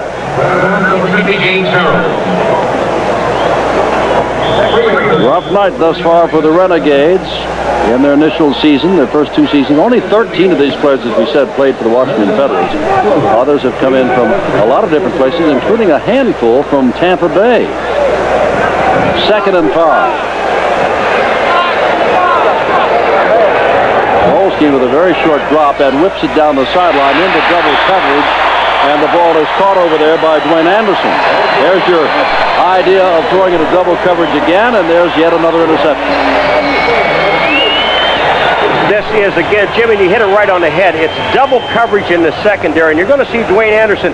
He's going to be the deep man. You see the top side? Watch it. You release short there because you know you have help deep. Here comes Anderson. He makes the interception. Ball thrown again into double coverage. Golsteyn is throwing the ball there no matter what happens. Here comes Dwayne Anderson, 50 or 26. Isn't that beautiful? Hannah was also there. He had him short. That's interception. Here we go again. From the 41-yard line. 28 to nothing, and Tampa Bay looking to sharpen its offense, so needed against Houston. Here's Anderson. He can't get outside at all and is finally dragged down by James Scott. Now, Tampa Bay hasn't done too much offensively, despite the fact they lead by 28. Well, you know, punt, fumble, punt, punt, and then we've got a touchdown. Uh, this, team, and another touchdown. Those are Gary Anderson. And then you got another punt and interception. Now, Reaves has not thrown the ball well at all. And that's, uh, neither has Golsteyn, which is obvious, another interception. But Reaves has got to get his confidence back and, and start throwing little short guys downfield, maybe the 15 to 18 yard pattern. Second down 11 from the 42. Reaves taking his time and thrown behind the tight end Marvin Harvey. And John is just not having the good evening. That is 5 of 19 now. Well, that ball was catchable by Marvin Harvey, number 87. It was thrown a little bit behind him, but he made the right turn. There you see Golsteyn 9 of 20 after his first series, and Reaves still in his first series of the second half, 5 of 19. Two interceptions for Golsteyn, one for Reaves. Mike Guest picked that one off. And it is third down, 11. You know, Houston next Saturday afternoon is going to score points against Tampa Bay. They got to get their offense sharpened so they can score some points offensively against Houston. And Orlando, well, it's a long season ahead for them. There's the ball thrown underneath, And I'm trying to figure out who was thrown to because Matt Newton is the nearest man to it. Although downfield was Brodsky, but he was not within 20 yards of the ball. It's fourth down. Reaves threw the ball away. Sure. That's what I was saying. A long way. yeah, a long way away. It's fourth down. So the interception by Dwayne Anderson goes for naught, and Anderson comes in to kick again. And this man knows how to put the ball out of bounds inside the 10. He'll be aiming for the sideline. And there is Victor Jackson. Well, wrong again, Paul. What? Oh, look at what? this. Oh, you're what? right. It took a left turn. it. It took a left turn. Goes out at the three-yard line. He knows what he's doing. 13-24 to go, 28 to nothing, the Bandits. And yes, the Renegades have the ball, but inside their own five-yard line.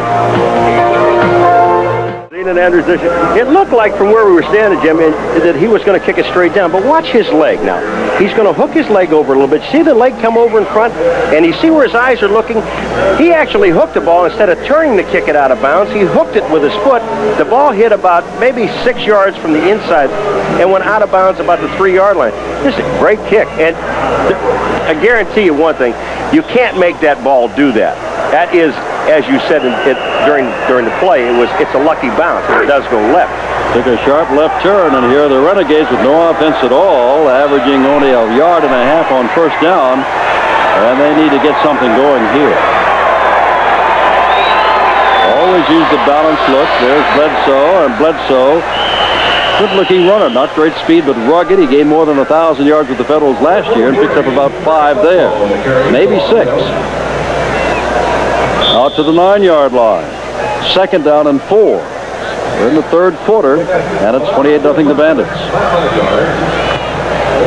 Good crowd. There's a big controversy in Tampa Bay. Are you a Buck fan or are you a Bandit fan? Well, this is Bandit time of the year, and between 45 and 50,000 here.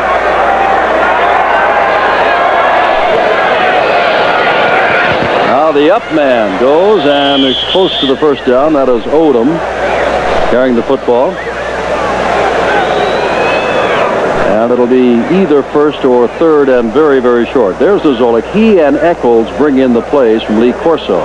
Corso calls them. Corso would decide if they were in a close game what they would do on a two-point play.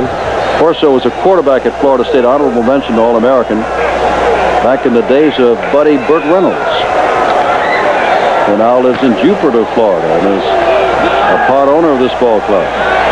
A little trivia, folks. Third and short. And Bledsoe is given the job of getting the first down, and I think he's got it. Very close to the 14-yard line.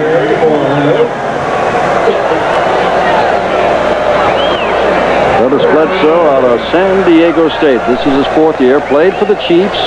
Also was with the Wranglers.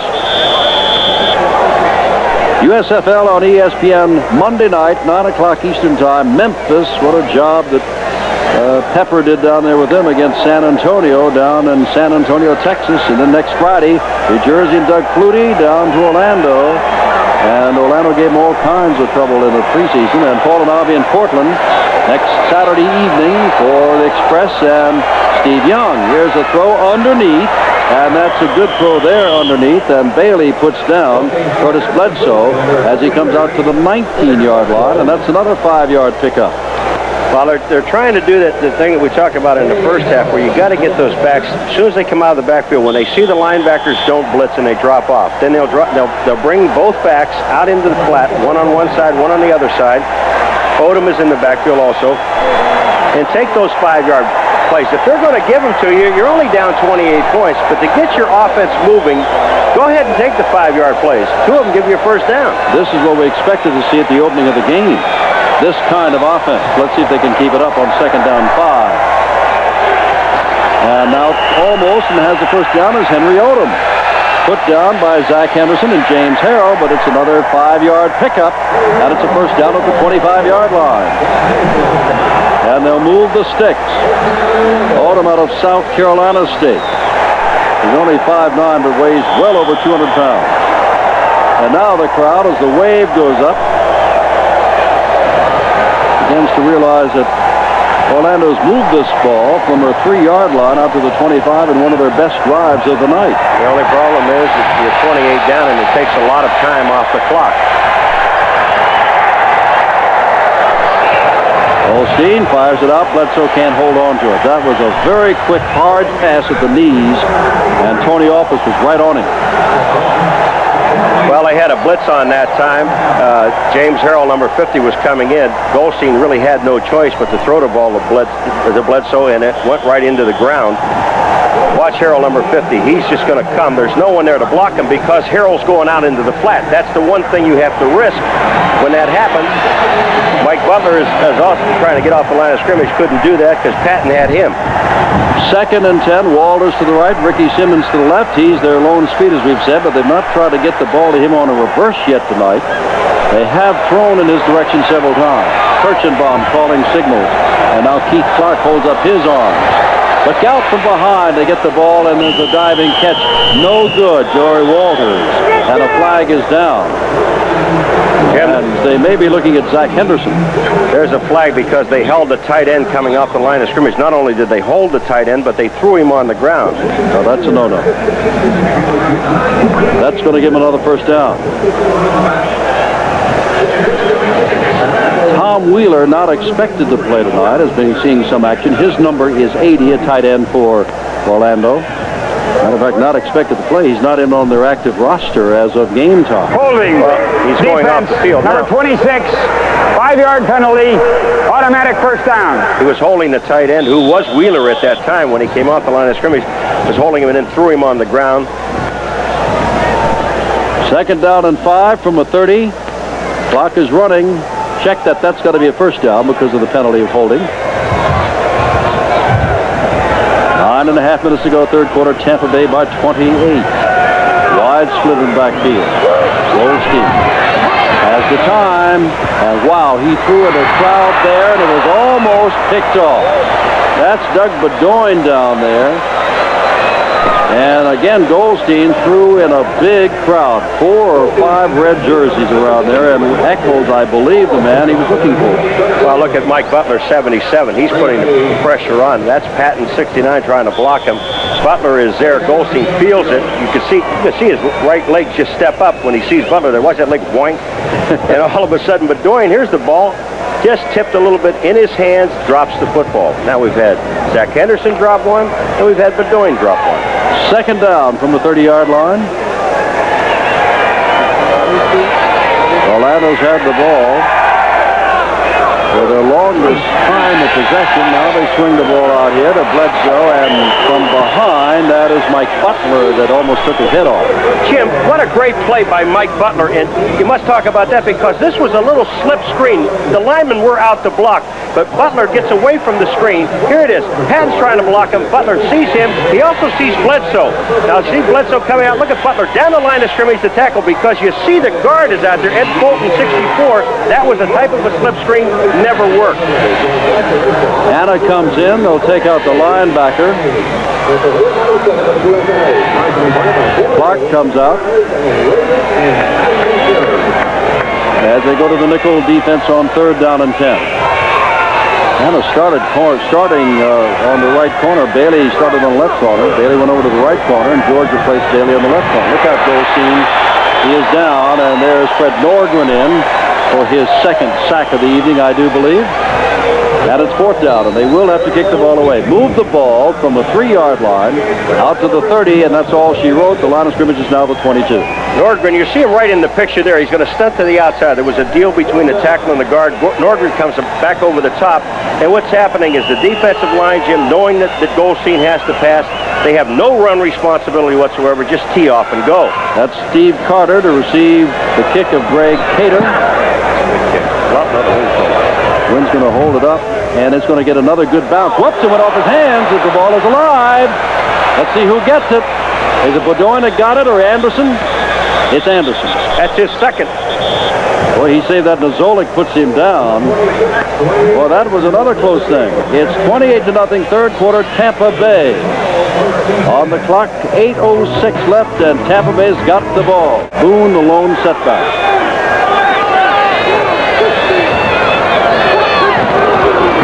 Boone has the ball in a big hole. Still on his feet as they go Boone, Boone, and he is dragged down from behind by Victor Jackson, number 20, the strong safety. But that's the first down and move the ball across the 45-yard line. My guess missed the tackle right in the hole, and Boone just ran away from him. Jim, the special teams for both teams tonight are very shaky at best. Here's Carter. Now, there's a man, Lupe Sanchez, there, number 21. Get away from the ball. Anderson gets it again. Dwayne Anderson gets the ball again. It's the second time he's recovered a, a, a fumble on a punt. But stay away from it. If you can't field it properly, then get out of there. There goes Gillespie in motion as we come back live, and here's Anderson carrying the football, and he's going to pick up some yardage, maybe six or seven, Paul. Even though this is a first game, and they don't have many exhibition games, only two played by Tampa Bay, it is still ragged play. It is offensively. Uh, you're seeing some shaky things, and they're going to have to straighten them out on both of these teams. The special teams players that are back there, you've got to have some people talking to you and, and communicate. Special teams in a 16 to 18 game season, Jim, they're going to win four games for you or lose four games for you. Truvillion is wide to the right. Gillespie in motion to the right. And here comes Anderson to the left. And he's got running room again and bumped out of bounds again by Victor Jackson. But again, that is a first down and move the ball inside the 40 to the 35 and a half yard line. Jim, he got two great blocks. One first by Boone, number 21, and then by Newton, the guard, pulling out. Boone is up in front. He gets the block there. Then you see Newton. He's going to seal to the inside. That's on Gabrielson. And then Gary Anderson is absolutely in the best shape he's ever been in because he can move it. And again, you've got blockers out in front of you. Six and a half minutes to go, third quarter. There's the score. And Tampa Bay is on the move. Gillespie coming this way. Anderson going the other way. That's the second time. They go the other way this time. Last time, Gillespie went to the right. Anderson came left. Reversed it on this play, and not as much yardage as Mike Guest comes up to make the stop. He's not even breathing hard. Look at yes, he's in excellent shape. Well, we've heard that from top to bottom of the Tampa Bay organization. By the way, the man who helped to put together Tampa Bay and look at Anderson's numbers is now the general manager over in Orlando. Yeah. Your buddy and I'm my buddy. And they're sitting, he's sitting right up here with his old Tampa Bay cohorts. Well, John Roush is now the director of football operations for Tampa, and Bugs Engelberg moved over. He was the director of football operations here. He's now in Orlando. Trying to get, he got a lot of good players here. There's Anderson straight up the middle. Look at this. Guest makes the stop for a while, but Anderson still plunges ahead before he is put down there by Smith, who peeled back to help on the tackle. A Little cross-action play, and, and Nat Newton is number 61, the guard. Is this holding? Oh, sure. Way to go, Nat. How can you tell? but Anderson can hit a hole in a hurry, and, and watch. My guess is going to be the guy that's coming up, and, and he's waiting there, sitting, waiting for Anderson. Look at the balance of Gary Anderson. Didn't go down. His knee didn't hit. Picked up another five. And another first down to the 21-yard line. Reaves stumbles coming out of the pocket, puts the ball up for Gillespie, and Gillespie is out of bounds. Coverage there by Lupe Sanchez. That stops the clock with five minutes and three seconds to go in the quarter. That man right there, number 21, Lupe Sanchez, is playing a great football game. He's got to cover not only Eric Truvillion one-on-one, but Willie Gillespie one-on-one, and he's staying with him. That ball had been thrown inbounds. Lupe was there in a position to intercept it. The ball was thrown out of bounds. Reaves, he hadn't thrown in this drive, so he got stumbled when the first time he's going to throw the ball. You know, John Reaves keeps up this ineffectiveness tonight, when you see the score tomorrow and see what he did in passing tonight, it has not been that effective thus far. But he's a good one, more than 4,000 yards last year. He'll get better. Oh, yeah. Uh-oh, started to pull away there. That's offense. That's Reaves. That's Reaves, and he knows it. He, he may be a little upset with his own performance and started to back out of there before the ball was snapped. Very few penalties tonight. The only big one that I can recall was not roughing the passer, but roughing a pass blocker. Little unusual one, too. You don't see that that often. Unnecessary roughness to call. Scott Hutchinson, ex-Buffalo Bill player. Spencer Jackson checks in. He had an outstanding camp. Number 88, second-year receiver out of the University of Florida. He is in there with Larry Brodsky. He went to Miami. Brodsky goes to the right end. Jackson comes to the left. And there's Jimmy Jordan, who played his quarterbacking days at Florida State, backing up Reaves. There's the ball underneath, and Harvey, for the second time, cannot hold on to it. This was better thrown than the last one he dropped. And you can see him being helped up there by Kelvin Atkins. And he's a good receiver, Marvin Harvey, number 87. 70 catches last year. You bet. And that ball hit him in the hands. Atkins, the 55, the linebacker, was right there with him.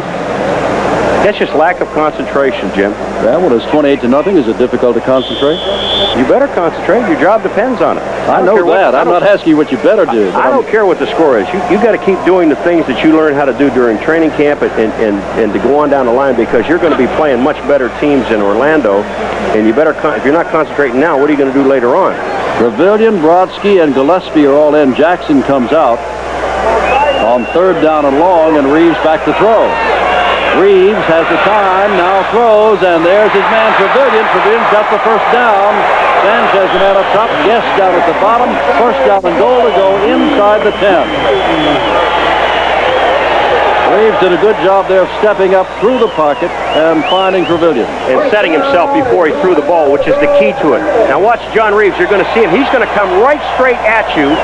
The blocking is there. There's Newton getting another good block on James Scott 77. Now watch Reaves does. You'll see Eric. See how square he is to Eric Truvillion? Now he's in a position to throw the football. Guest is down there. Lupe Sanchez is down there. But Truvillion picked up the first down. Ball inside the eight-yard line.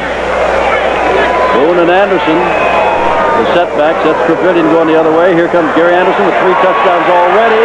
Anderson almost had his fourth touchdown. It'll be second down on a yard to go as he was put down by Kevin Kellen, number 94. Well, he was reading Colzie, who's playing actually a linebacker position. Watch what Anderson does. He'll go look to the outside. That's taken. So now my, my chance is to go back to the inside. The block was there. Price again on Colzie, 86 on 30. Gary Anderson gets to the one-yard line. Quick feet. And it'll be a short week for Orlando. They got to play Friday against New Jersey at home. I got to believe they got to give it to Gary Anderson again to get his fourth. See if he gets his fourth. See if he sends him wide. There's Anderson, not that wide, but sufficient to get his fourth touchdown.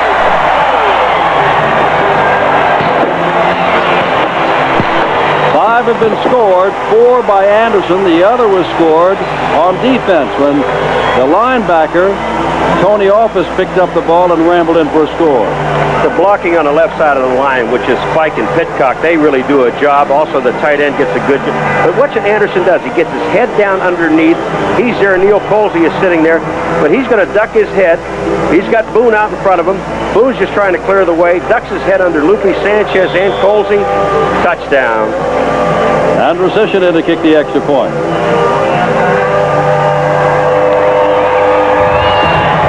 Tampa Bay continues its march. Eight out of nine they won last year. They lead here by the score 35 to nothing. Uh, there's the combo, Anderson and John Reaves of Tampa Bay.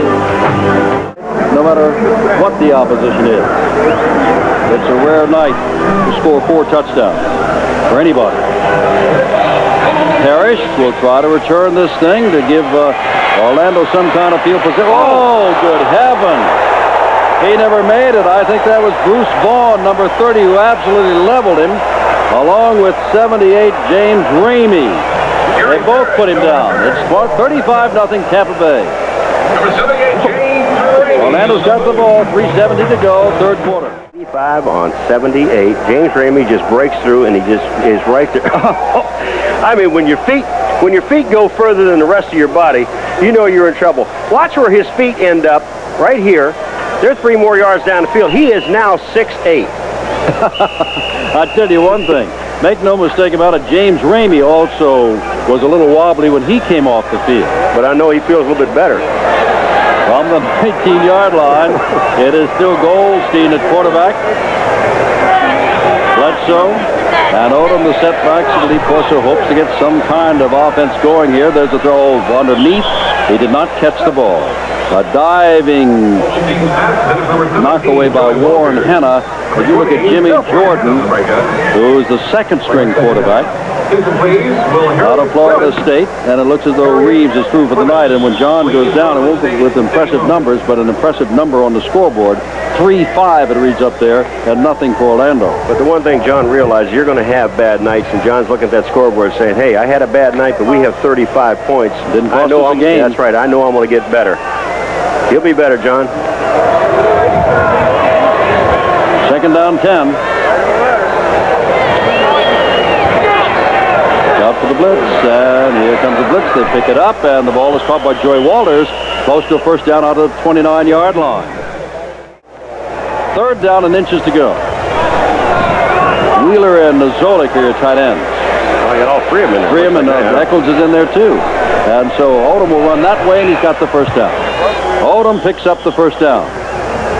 With two minutes to go in the third quarter.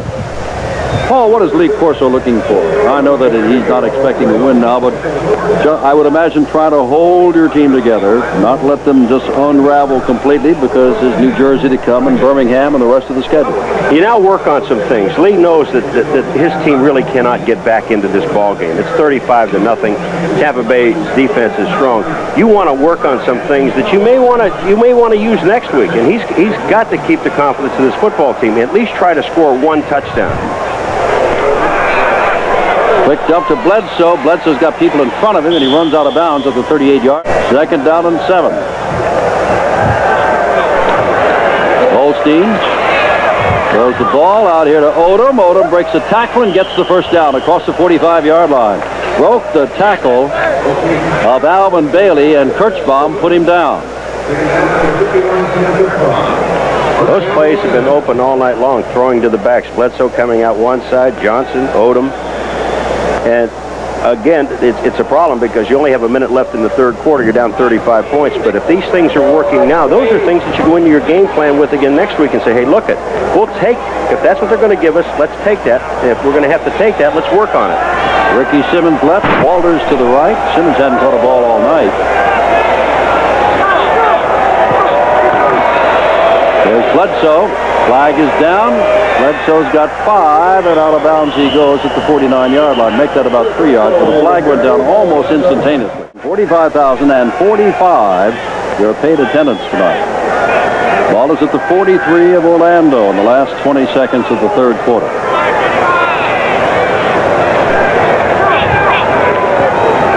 Golsteyn looking, firing into coverage again, but he's got his man there. Don Echols makes his first catch of the night, and he's a tough one, and he is still on his feet. James Harrell gives a little parting shot there. First down. And that's the end of the third quarter. It's Tampa Bay 35 and Orlando nothing. One quarter remains. Come back to Tampa Bay. The ball on the 34-yard line of Tampa Bay. Orlando trailing 35 to nothing thanks largely to Gary Anderson's four touchdowns and 143 yards, nearly 100 yards more than the entire Orlando offense. Rushing, isn't that great? is Bledsoe. Bledsoe showing good smartness as a runner gets inside a 30-yard line for a five-yard pickup, and it's second down and five. Well, they've changed a little bit, haven't they? 290 total. Time of possession, I, I never really cared about that thing anyway. As long as you, whatever you do with it depends on it. 35 points and you have the ball only 20 minutes. Second down, Golsteyn back. Running out of time, and down he goes. Looking downfield, but unable to get there as Mike Morgan out of Brigham Young. He played at Brigham Young with a fellow by the name of Steve Young. Seven sacks for Tampa Bay tonight. All the more impressive that five of those were in the first half. Now, here's another fresh body in there. He's listed three deep behind Simmons and Nordgren. And here comes Morgan. He just gets away from the center, I believe, is that Fisher. And he's there right in the face of Jerry Golsteyn. But again, when you see a sack that takes that long for a man to get there, you must credit the defensive secondary and linebackers for excellent coverage. On the 37-yard line, it is third down and 14 to go.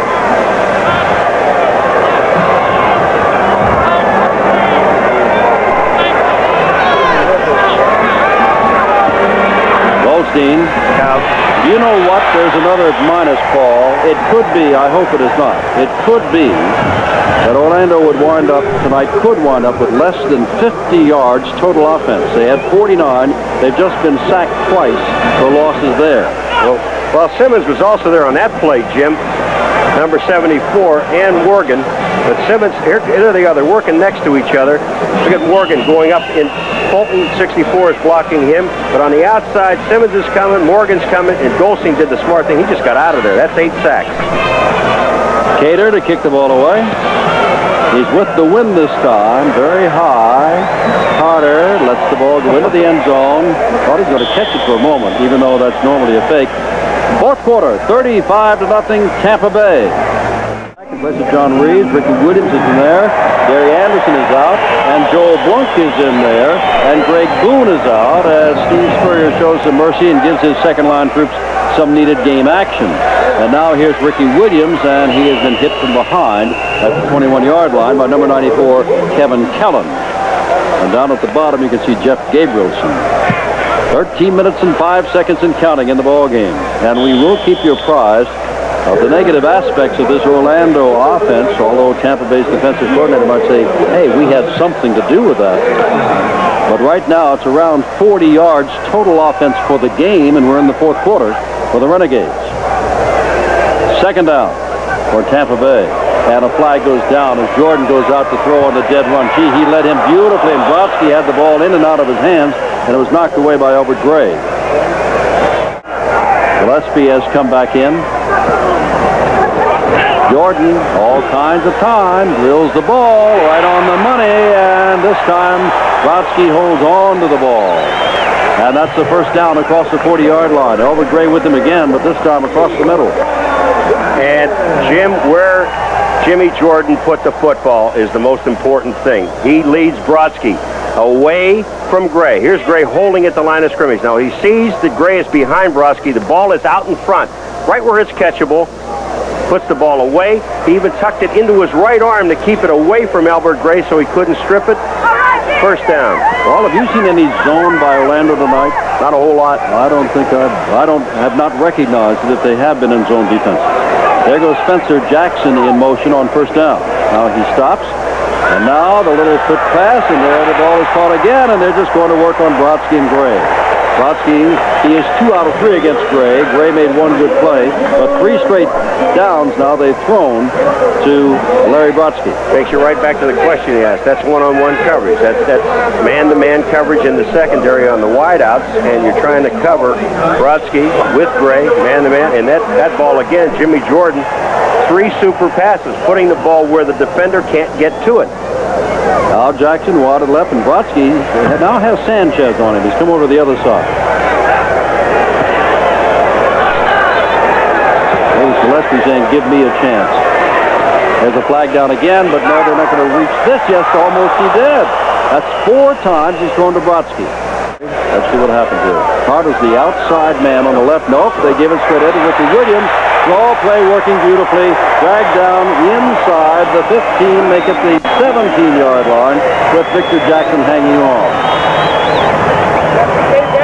35 to nothing, and here come the Bandits again. Look at the blocking up front. Now, remember, some of the second line's in there, but it's a quick draw to Williams. Once he gets through the line of scrimmage, Atkins, number 55, the linebacker, Jackson, Victor Jackson, 20, saves the touchdown, but that was quick. And this Williams, if you take Anderson out, doesn't look like you lose much, do you? Well, he's a Florida State man that played on the very first team and got hurt, I believe, in the very first game that Tampa Bay ever played and had to sit out the rest of the year. Came back a little bit last year. Now flag is down as Williams has got the ball again.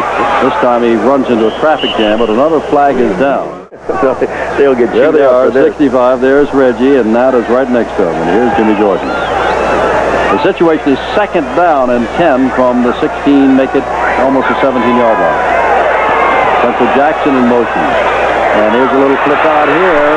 And there's number 22, Joel Blunk out of Duke University. In his second year, making the catch down to about the five. That's just- the first down. They're just using that same play that Orlando used. Watch this. Jimmy Jordan's coming out. He sees Joe Blunk 22 going right underneath the linebackers. That's Atkins trying to catch up to him. He gets there. Guest is there, but they picked up another first down. They're at the five. 8.50 to go in the ball game. 35 to nothing. It has been all Tampa Bay. Orlando has got less than 50 yards total offense. So they'll get the ball back and try to make the numbers respectable at least.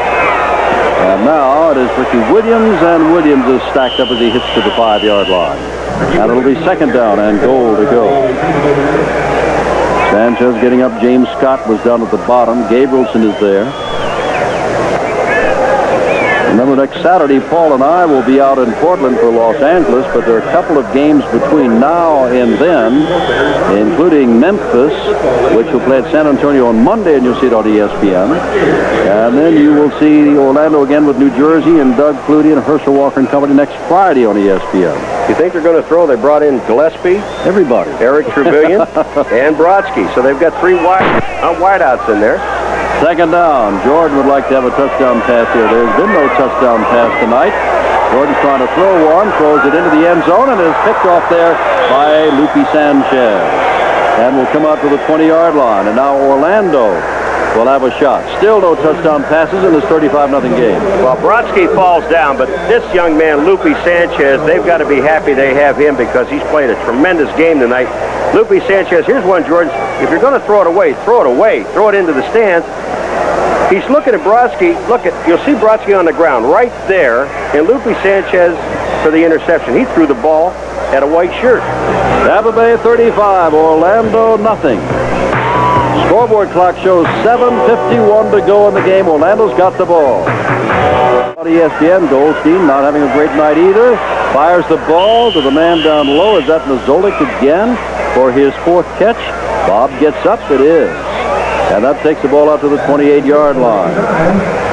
Well, tomorrow, as this first weekend of USFL action goes, Baltimore's at Jacksonville, New Jersey at Birmingham, Portland at Arizona, Denver at Oakland, Houston at Los Angeles, Kelly and Young. That'll be a great thing out there in the Coliseum. And Monday night on ESPN, Memphis at San Antonio. Second down and short.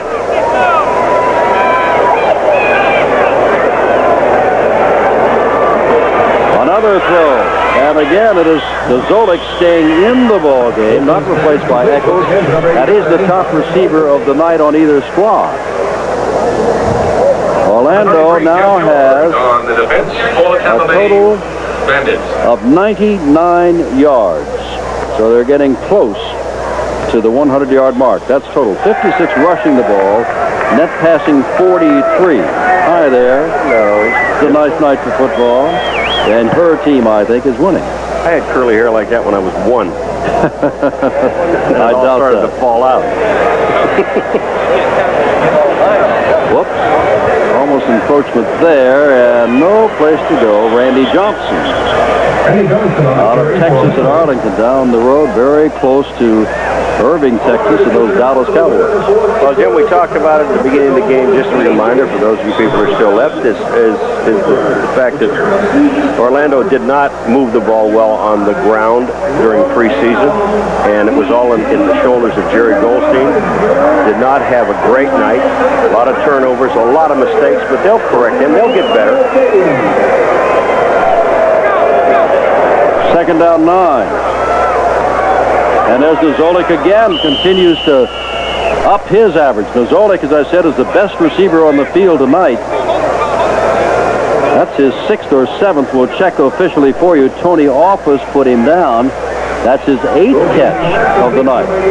Memphis and San Antonio Monday night, 9 o'clock here on ESPN. Then next Friday, as we said, back to Orlando, New Jersey. Doug Flutie, Herschel Walker and company will be there at 8 o'clock Eastern Time. And then Paul and I will be out on the West Coast. Watch Steve Young and the Portland Breakers. Marcus Dupree out there, 9 o'clock Eastern Time, 6 o'clock on the Pacific Coast. We're down the last 6 minutes and 15 seconds of this time. There's a Bandit fan. You know, you talk about Marcus Dupree. They also have a young man that, that impressed us quite a bit last year, Buford Jordan. Oh, Can he run? when Dupree was hurt and Jordan would come in. Oof.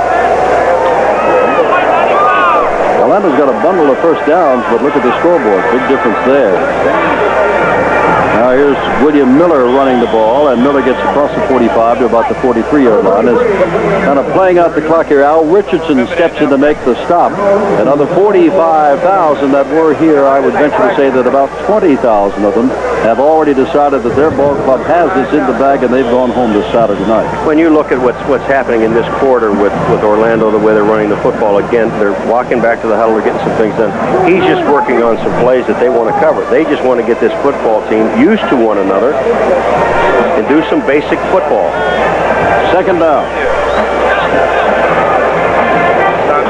That is Golsteyn putting the ball up and unable to catch the ball as Echols, the tight end, with Tony Office, who scored the first touchdown, picking up a fumble and running it in on the coverage. 5.15 left. It has been a delightful weekend here in Tampa. The weather Temperatures have been in the 80s. It was 79 at game time at 8 o'clock Eastern time tonight. The sun has been shining, and that's their forecast throughout the weekend.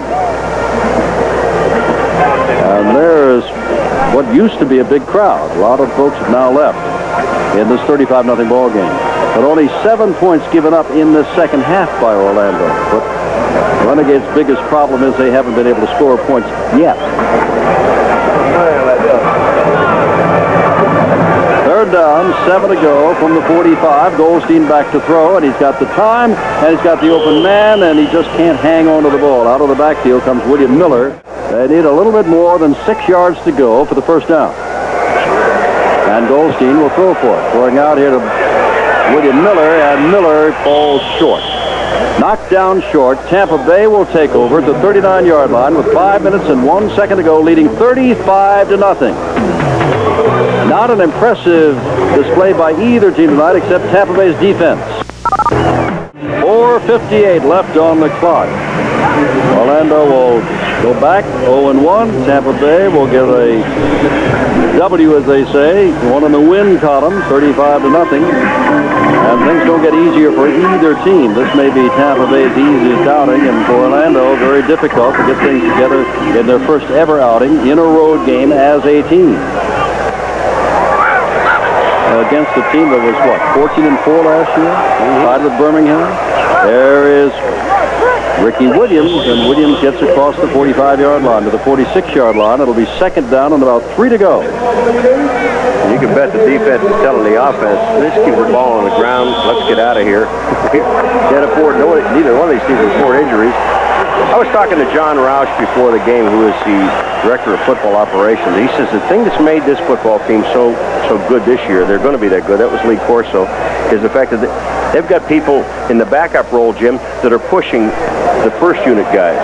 That's not bad. No, it isn't. That's what makes a good football team. Second down a long three. Up, Blunk gets absolutely nowhere, and it'll be third down and three. Tampa Bay, as we said, gets Houston here next Saturday afternoon. Then they go on to San Antonio. Then they get Arizona here. Then they've got to go play at New Jersey, at Memphis, before getting Jacksonville with uh, Sipe and Rozier and Griffin here. And then they get Denver with Mouse Davis's run and shoot offense. Tampa Bay at Birmingham in April, Baltimore here, at L.A., at Jacksonville, Memphis here, New Jersey here, and at Orlando long way to go. This is Blunk. Blunk out of Duke, wearing number 22, fills in at fullback for Boone out of Duke, wearing number 21. And now they are running the clock down, 3.10 to go. And it is going to be, what, a measurement for the first down? Or they're going to call it fourth and one. And they're going to go for it if they did not make it. They're going to measure. They got their offense on the field. Clock stops for the measurement. Obviously did not make it. And apparently Steve Spurrier is not going to kick the ball away. Or is he? Well, here comes the kicking team out, I do believe. Yep, Andrusyshyn coming out. Actually, uh, it wouldn't have been bad not to kick the ball because, first of all, you know Orlando, they're just they're just running plays to run the clock out also. And Orlando better get some players on there in a hurry. Here they come. There's Jackson back, standing on his 10, Andrusyshyn having a good night punting the ball. This time punting into the wind, and of course he's been perfect on all of his extra points. High, hanging in the wind. Jackson is going to take it inside the 10. And let's see if he can get outside the 10. Not much out there. James Stewart. Hold it. That was not Stewart dragging him down. That was Bobby Futrell dragging him down. 2.48 left in the game. 35 to nothing Tampa Bay. Orlando has the ball, but inside its own 15-yard line. John Bassett, a man in his own right, but he's the owner of these Tampa Bay Bandits, and his daughter happens to play fairly good tennis. Carling Bassett, excellent tennis. Big man in sports. First down, 13-yard line, Orlando. It's the night they got to put a behind them as Wheeler drops that high pass from Golsteyn. The night that uh, Golsteyn and everybody has to put behind him and just regroup for the coming of New Jersey next Friday, and you'll see that game here on ESPN. 2.29 left. Corso. He was the big underdog coming in here tonight. There's no surprise that Tampa Bay has controlled this game. Maybe the surprise to Corso is that his offense did not do better or gain more. If there be a plus for Orlando, it's that they've allowed Tampa Bay but seven points in the entire second half after a 28-0 blitz at the end of the half. There's Golsteyn putting it up, and this time Wheeler's got it. I guess he went back and said, look, a little high, and I couldn't hold it. Just do the same thing. I'll catch it this time. You know what Lee Corso will do? You'll go back and you'll take your team and you'll look at the film, Jim, and you point out the good things that you did. The obvious things that the guys know who played badly. And this man here is a positive thinker in football. You go back and you say, hey, here's what we can do well. Here's the things that we, we, we did well in this football game. All right, we lost 35 nothing, but we did some good things. Two minutes to go in the game. Tampa Bay 35 and Orlando nothing. And when we come back, it'll be third and short for the Renegades of Lee Corso.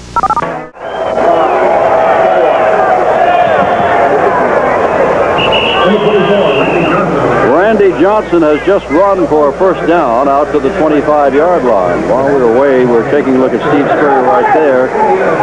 Very happy with the fact that his team is winning 35 to nothing. But he cannot be happy with that offense tonight.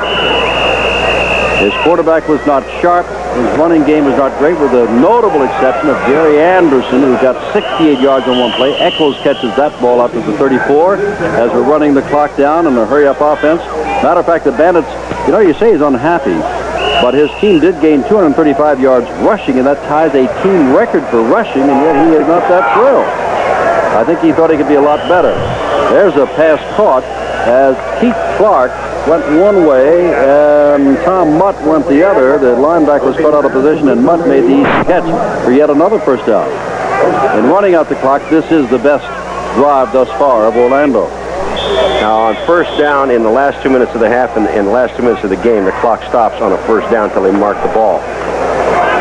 Across the middle, and there's Wheeler the tight end, and Wheeler goes down with Futrell on top of him.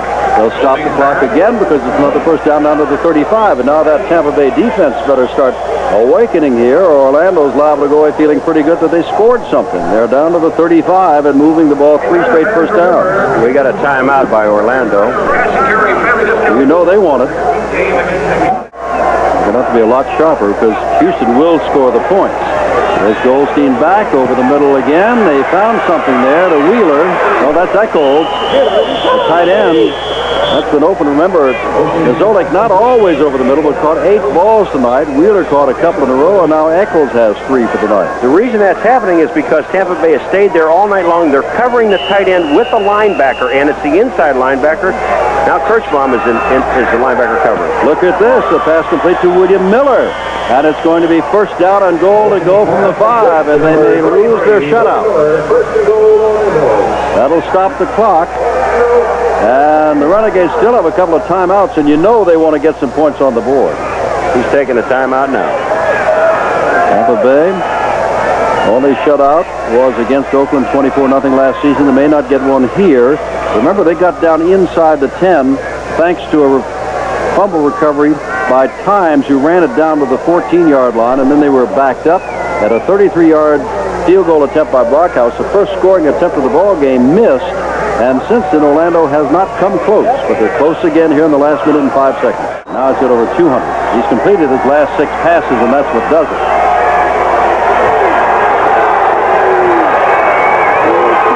First and goal to go. Golsteyn flips it out there. That is caught for a touchdown by Niziolek. His ninth catch of the night, and Tampa Bay loses its shutout. Niziolek, the tight end. The man Zolik beat was Doug Bedoin, number 28. And Zolik just ran. The corner went down into the corner with the wide receiver. Bedoin, the safety, covering the Zolik one-on-one, and Golsteyn just flips it out. Here comes Golsteyn, and he's throwing this ball going back away, but it's not a long pass. It's a very short one. Now watch. Here's Bedoin right up on the line of scrimmage on the Zolik. He's already beaten right here. The Zolik is much taller. Look where that ball's thrown. Beautiful. Now Brockhaus will come in as, at last, Golsteyn's got his score. Well, as I say, you can't take that away from me. In the second half, the score is 7-7. It was a 28-0 blitz in the first half that won it for Tampa Bay. See, that's the positive thing is that man's going to say to his football team, hey, we can do some things. We can move. We can move the ball. We just got to settle down and do the basics. They will. They will shorten up their game plan, do the things that they can do well until they get their feet underneath them. Lee Corso, Steve Spurrier on the other side, 101 to go in the game. You looking at Corso on one side and looking at Steve Spurrier on this side, you think, who's winning this ball game anyway? Corso's clapping it up, and Spurrier is putting his hands on his knees. Won't this ever end? Bay's a good football team. Make no mistake about that. In Orlando, well, they are just building on the basis of what they had from the Washington Federals and what they're able to pick up from other teams in the offseason. Okay, all receivers and linebackers are up. They're looking. Look at Steve's counting. How many guys we got out there? Let's see. We got we got 10. We need one more. We need 11. Okay, let's get him out there. 87 yards in nine plays in less than two minutes for the touchdown. And looking for the onside kick.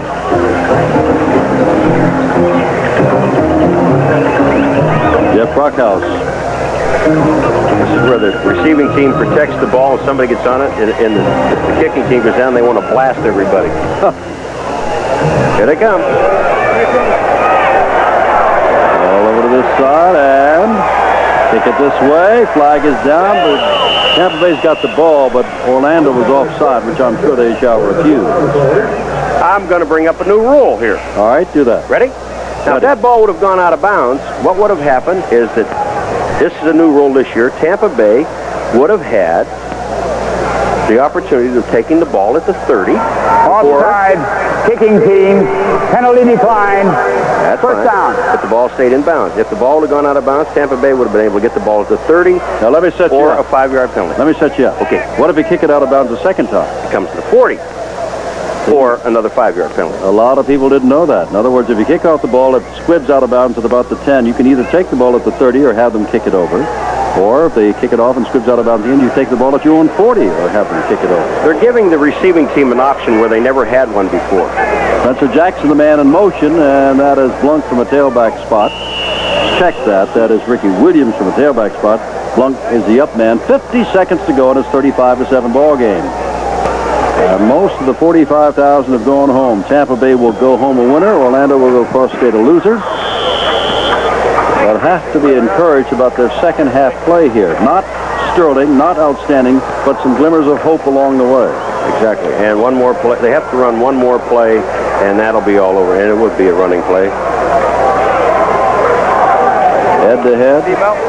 Bandits lead 2 nothing. That's against the Federals. It'll be 3 nothing after this year.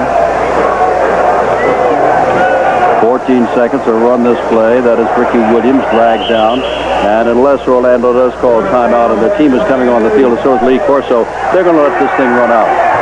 Is all over. A big win for Tampa Bay. Neither team looking that impressive. It is the first game of the year for both squads. Tampa Bay's 1-0 and Orlando's 0-1. Final score, Tampa Bay 35, Orlando 7.